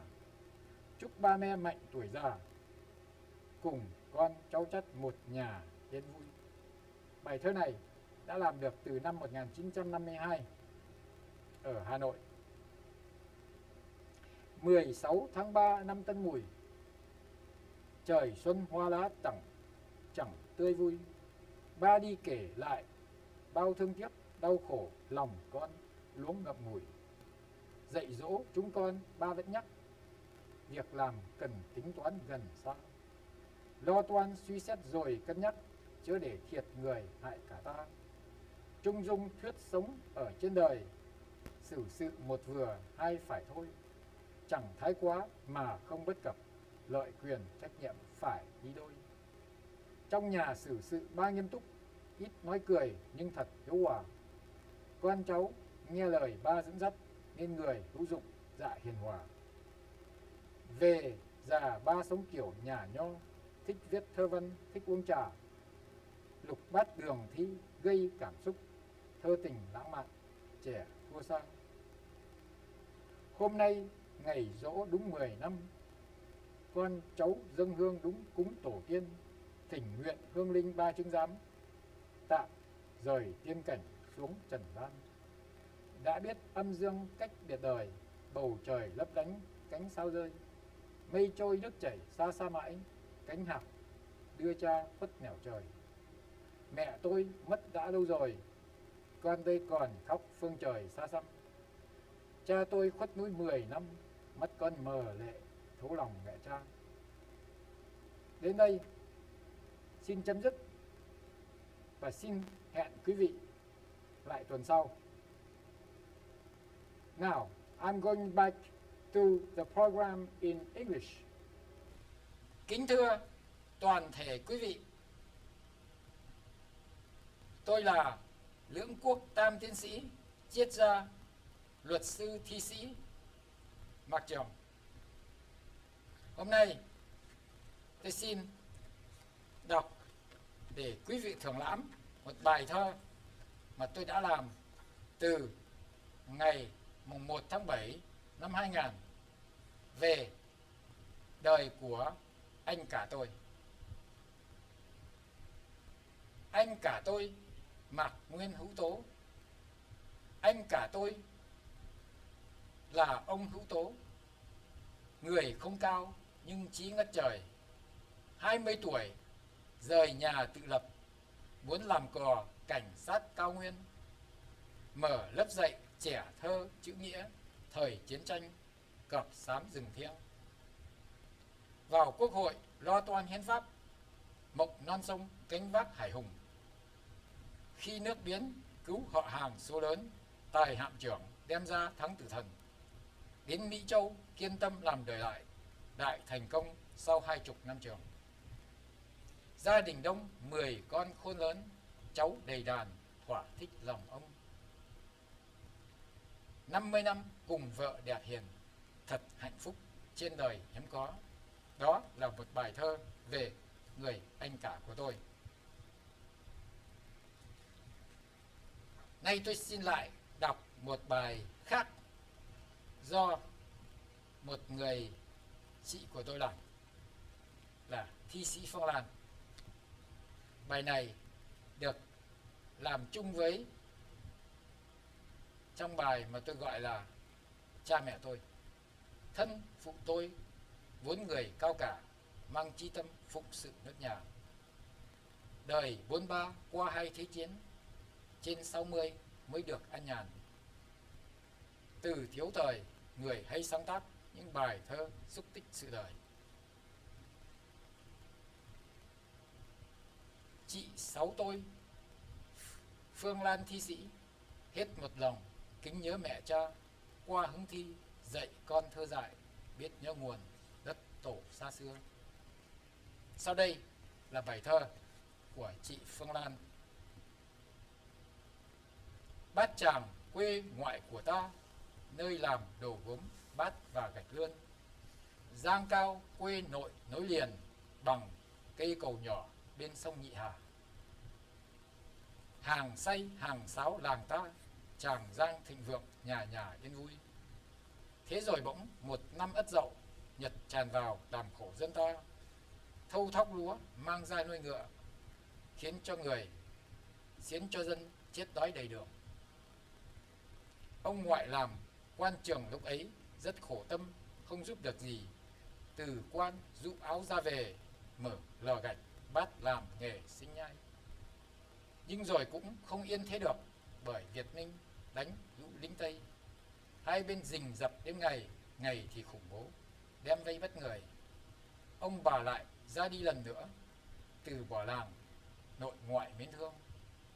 Hà Thành là đất ông nương, cho đàn con nhỏ học trường không sao. Mười con, hai với ông bà, gia đình như vậy quả là khá đông. Tám trai, bốn gái chưa chồng vợ, tất cả đang còn vị thành niên. Học hành giang dở ấy nên ông bà cho học tiếp lên kịp người. Mong sao con lớn thành tài làm nên sự nghiệp giúp đời mai sau. Với đàn con cháu thương nhau ông bà toại nguyện không cầu gì hơn. Kính dâng để tưởng niệm Phương Lan Glendale, Wisconsin tháng 12 năm 1998 đến đây là hết phần thơ về tiếng Việt xin hẹn quý vị lại tuần tới. Thầy, quý vị, hôm nay tôi lại đọc cho quý vị một bài thơ mới, một bài thơ về đời của ông Mạc Đĩnh Chi. Ông Mạc Đĩnh Chi là một người Việt Nam vào thế kỷ thứ 13 và là một người dĩ nhiên rất là nổi tiếng trong lịch sử Việt Nam và tôi đã làm một bài thơ về đời của ông Mạc Đĩnh Chi. Bài thơ ấy như sau. Mạc Đĩnh Chi, người tuy xấu xí nhưng thông minh, học giỏi phi thường. Trần Quốc Công có lòng yêu mến, đem nuôi cho, ăn học trong nhà, cha mất sớm, chăm lo hầu mẹ, biết ơn thầy, nhất mực kính cung.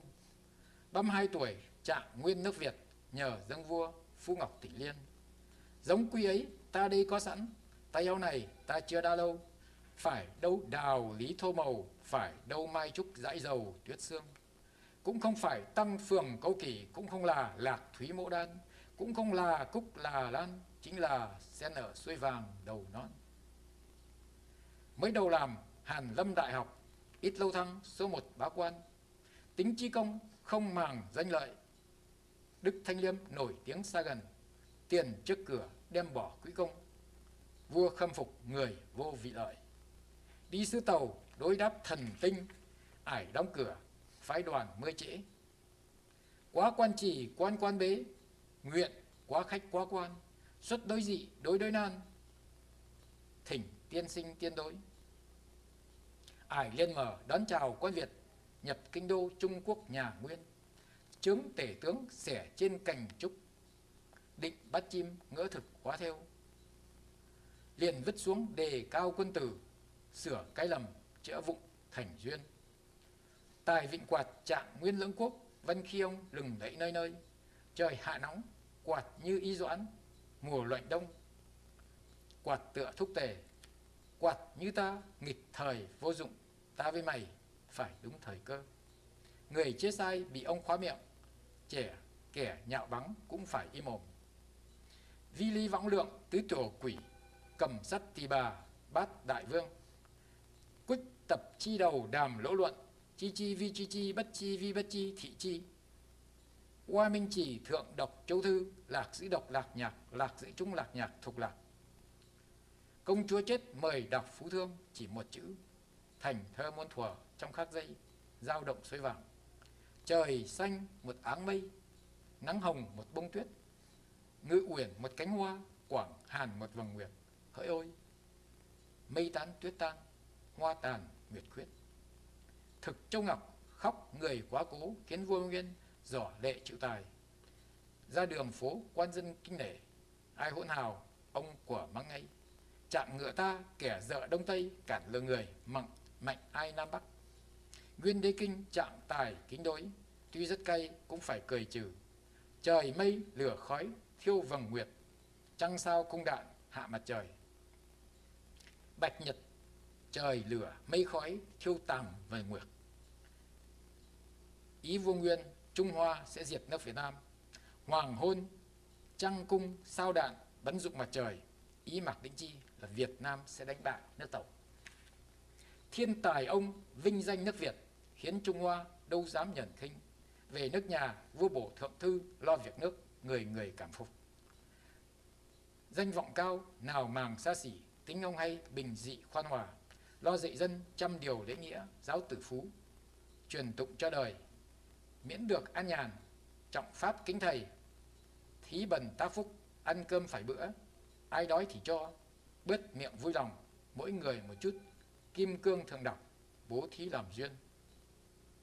67 về nhà hưu trí, dựng am sơ trên núi Phượng Hoàng, 7 năm vui, dạo chơi thắng cảnh, chợt đi vào lịch sử Việt Nam. Xứng mạc tích trạng nguyên đời lý, mộng tái sinh, cứu giúp cho đời. Đó là bài thơ về đời của ông Mạc Định Chi. Quý vị nào có những bài thơ hay và có những ý gì có thể liên lạc với tôi về trong mạng lưới là DMT Forest F O R E S T at aol.com viết thẳng thư cho tôi qua mạng lưới và tất cả những quý vị nào ở Việt Nam hay là người Việt Nam ở khắp trên thế giới mà được biết chương trình này. Xin quý vị cho bà con biết để tất cả đón coi chương trình này sẽ có và đã đã có từ lâu mỗi tuần một lần trong hai đài. Đài thứ nhất là haitidiaspo.com Khi quý vị vào trong đài đó chỉ cần nhận cái bút chỗ gọi là click here to watch TV hay là click ici pour regarder la télévision. Theo đài đó, quý vị có thể coi chương trình God 3.0 của luật sư tiến sĩ triết gia Mạc Trường mỗi tuần ngày thứ bảy từ 5 giờ đến 6 giờ chiều. Đó là giờ ở New York. Và mỗi ngày chủ nhật cũng đều có thể coi thẳng từ 1 giờ đến 2 giờ chiều. Trên đài 26 tv26 New York.com. Đến đây, xin chấm dứt chương trình cho ngày hôm nay và hẹn quý vị đến ngày thứ bảy tuần sau trên đài haitidiaspo.com và đến chủ nhật tuần sau từ 1 giờ đến 2 giờ ngày chủ nhật tại trên đài TV 26 New York.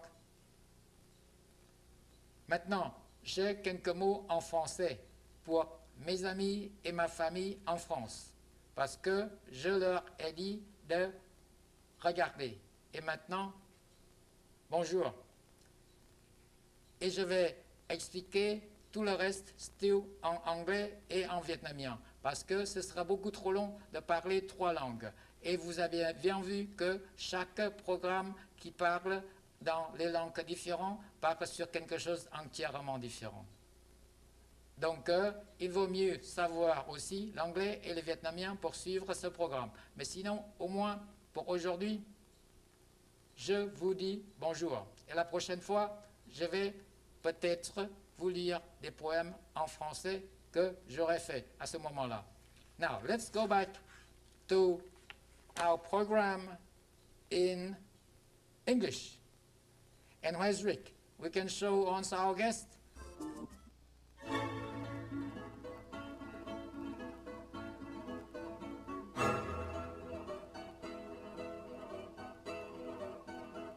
Thưa toàn thể quý vị, tôi là Lưỡng Quốc Tam Tiến sĩ, triết gia thi sĩ, luật sư Mạc Trường.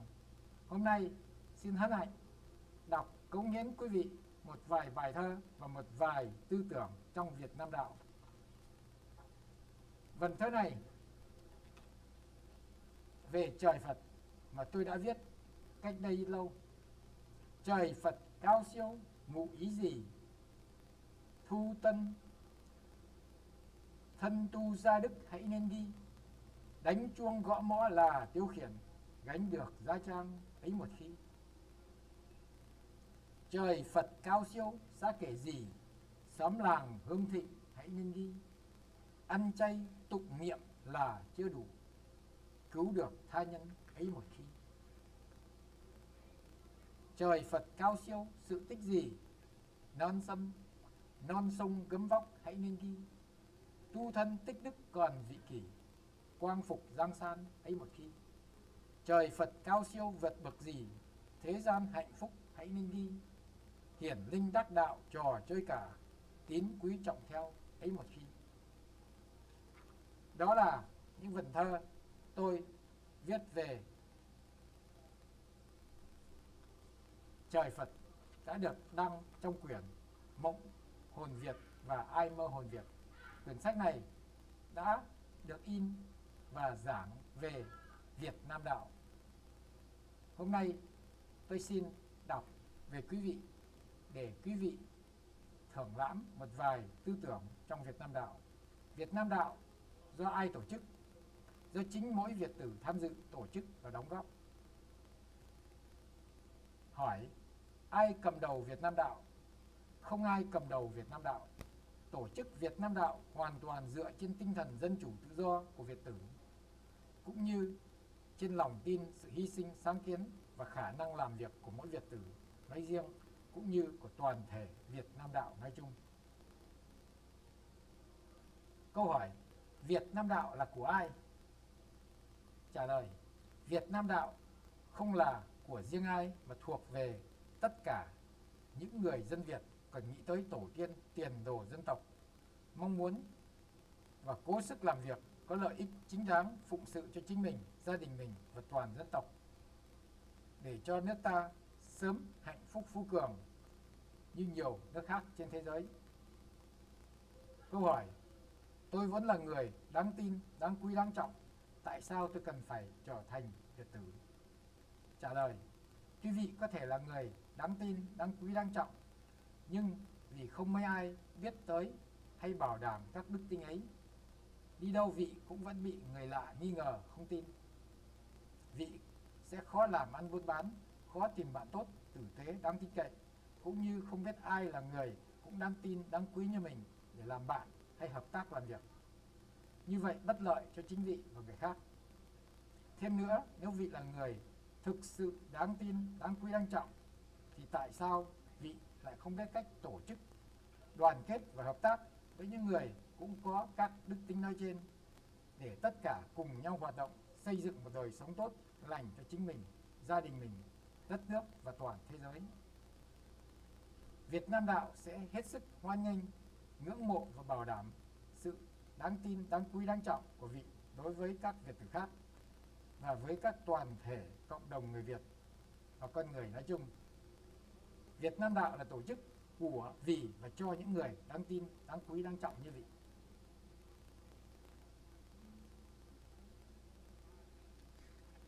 Câu hỏi Thế nào là người đáng tin? Người đáng tin là người nói sao làm vậy, không khoác lác, không nói dối, lừa đảo ai cả. Giữ lời hứa thành thực với chính mình và kẻ khác. Là người được điểm cao trong tiêu chuẩn luân lý của Việt Nam Đạo. Thế nào là người đáng quý? Là người đã làm được nhiều việc hữu ích cho chính mình và kẻ khác, được điểm cao theo tiêu chuẩn đạo đức của Việt Nam Đạo. Thế nào là người đáng trọng?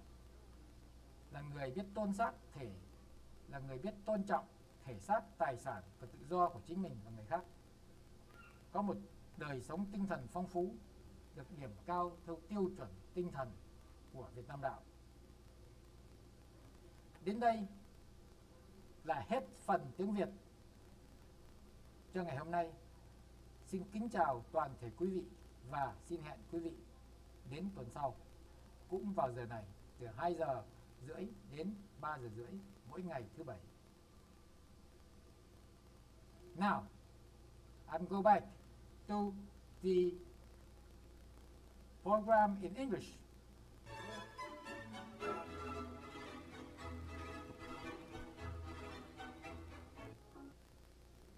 Kính thưa toàn thể quý vị, tôi là Lưỡng Quốc, tam tiến sĩ, triết gia, thi sĩ luật sư Mạc Trường. Hôm nay xin hân hạnh đọc để cống hiến quý vị một vài bài thơ. Bài thơ này gồm có bốn dòng thôi, nhưng mà tôi rất thích. Bốn dòng đó là như sau. Mộng hồn diệt ngàn đời bừng tỉnh, lửa lạc hồng sáng rực nam châu, giống tiên rồng vinh quang trỗi dậy, tín quý trọng, chính đạo cứu đời. Tại sao lại mộng hồn Việt ngàn đời bừng tỉnh? Dân tộc ta đã chìm đắm trong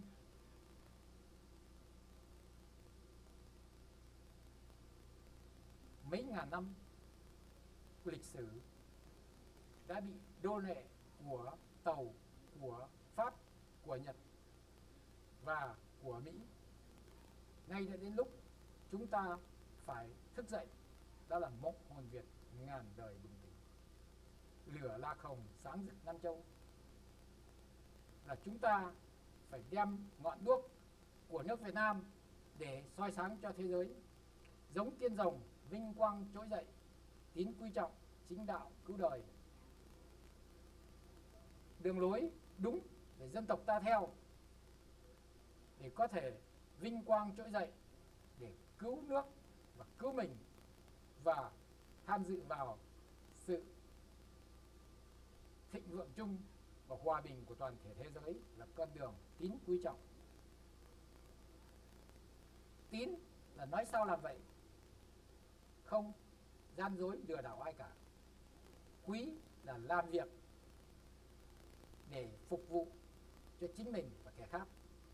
trọng là tôn trọng sinh mạng, tài sản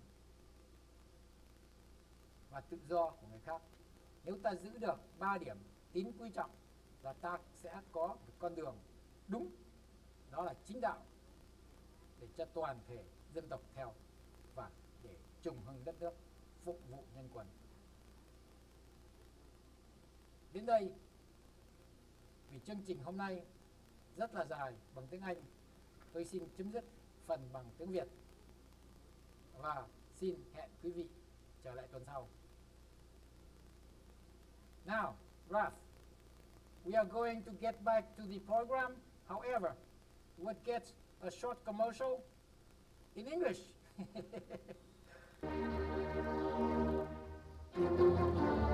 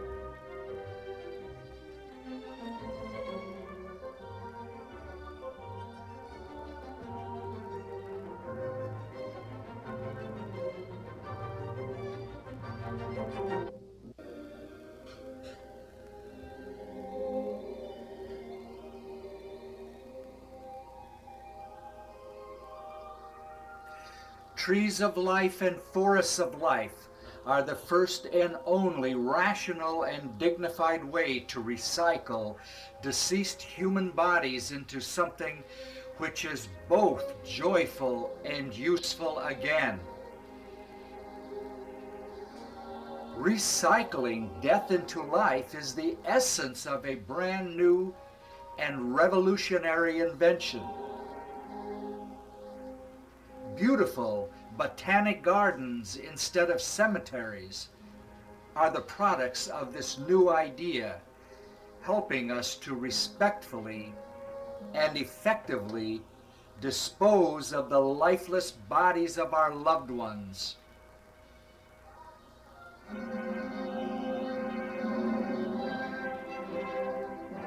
Hi, everybody.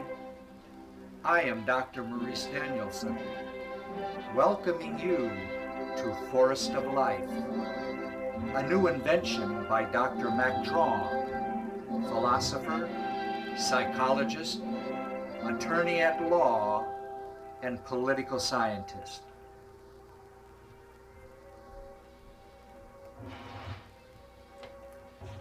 Referring to Dr. Trong's U.S. patent number 5799488, issued on September 1st, 1998, the New York Times announced on December 21st, 1998, that once in a while, an altogether different kind of invention is made. That is flattering, but still only an understatement. Indeed, Dr. Trong's said invention is so useful and exciting for all people on earth that it may be the most practiced, admired, loved, and cared for of all inventions registered so far with the United States Patent Office. After all, it's life after death that has been invented.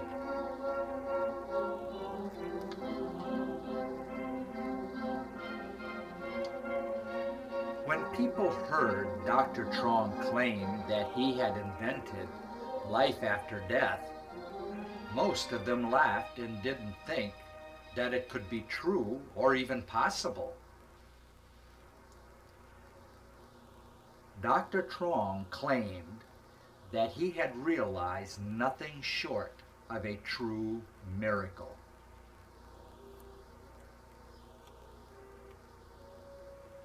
He had found a way to materially make of reincarnation a reality and bring dead people back to life.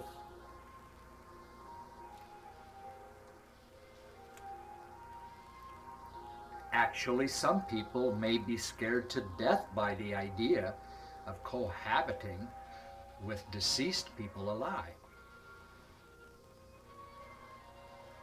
They don't want to see dead and buried guys and girls rising up from their graves and return to live again among us.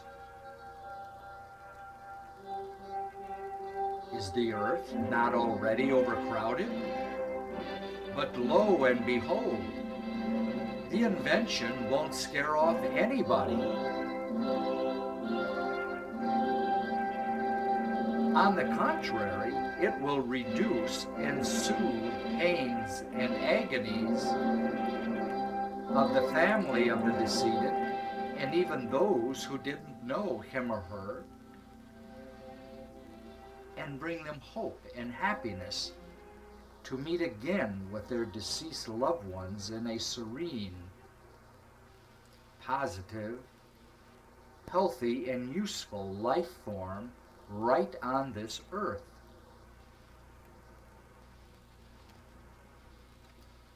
A form of life that everybody will love and nobody will hate. All that without any risk of overpopulation or unemployment or unnecessary costs for labor or materials.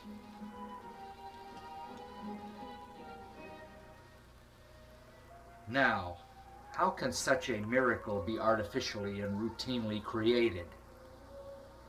Picture this. The person you love the most went on a beautiful hill to pray for you because he or she loved you so much.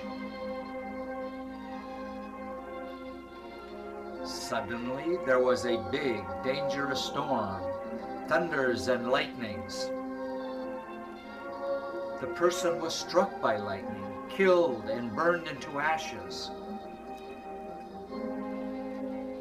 However, out of the ashes miraculously grows a magnificent tree on the hillside where she died. Is that magnificent tree the reincarnation of your loved one? It is true that some people may not be sure that such a tree is truly the reincarnation of the dead person from whose ashes it has miraculously germinated and grown.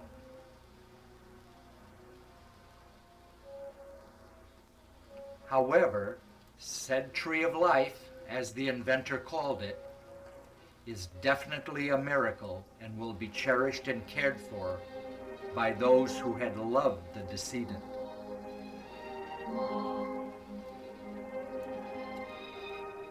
The miracle has created a material link between the dead person and a living tree through the biological incorporation of the ashes of the decedent in the tree. The link is true, and the sentimental attachment by the family of the dead person to the tree of life is based upon something real, not fictional. The tree of life is life itself and something unique. It is as unique as the decedent had been.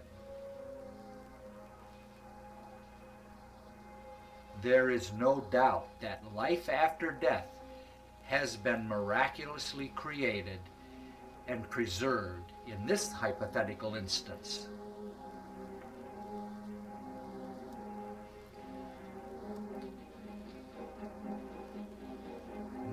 Now, such a miracle has been invented by Dr. Matt Trong and hopefully will be routinely performed by Forest of Life Incorporated and its licensees. The result of the invention is the trees and the forests of life. A tree of life is a tree which will biologically embody a deceased person. The dead person takes on a new form of life as a magnificent and serene tree. The physical reincarnation of a person as a tree may now be a reality because of this new invention comprising three main steps of transcendence, rebirth, and eternity.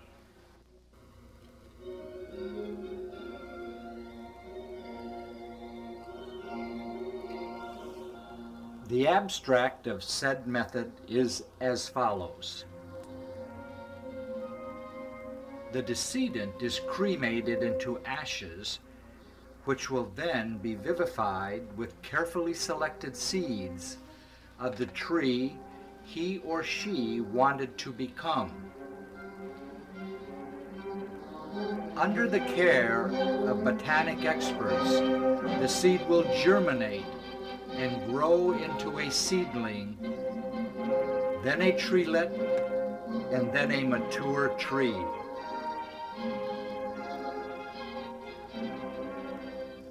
It is recommended that the decedent has selected the seeds while he or she was still alive.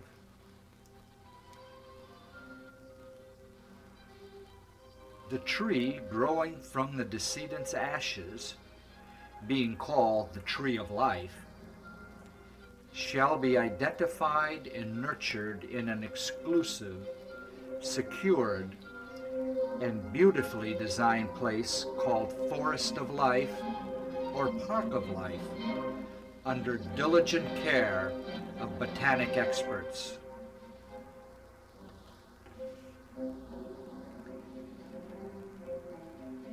The three steps of the bodily transformation of the decedent will be celebrated in accordance with his or his family's religious beliefs and or by the Universal Republic Church, a church founded by Dr. Mac Trong, teaching the three main basic rules of human behavior, reliability, productivity, and respectability. The inventor, Dr. Trong, himself is a fascinating man. He is a practicing lawyer, having successfully represented thousands of clients in downtown New York City. He holds a JD, an LLM, and a JSD in international law,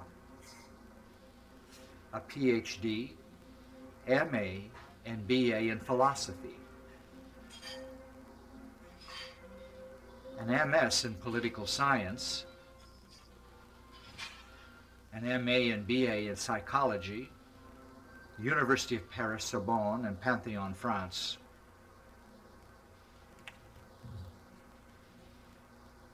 He is the author of several books in three different languages, including Absolute Relativity, World Structure,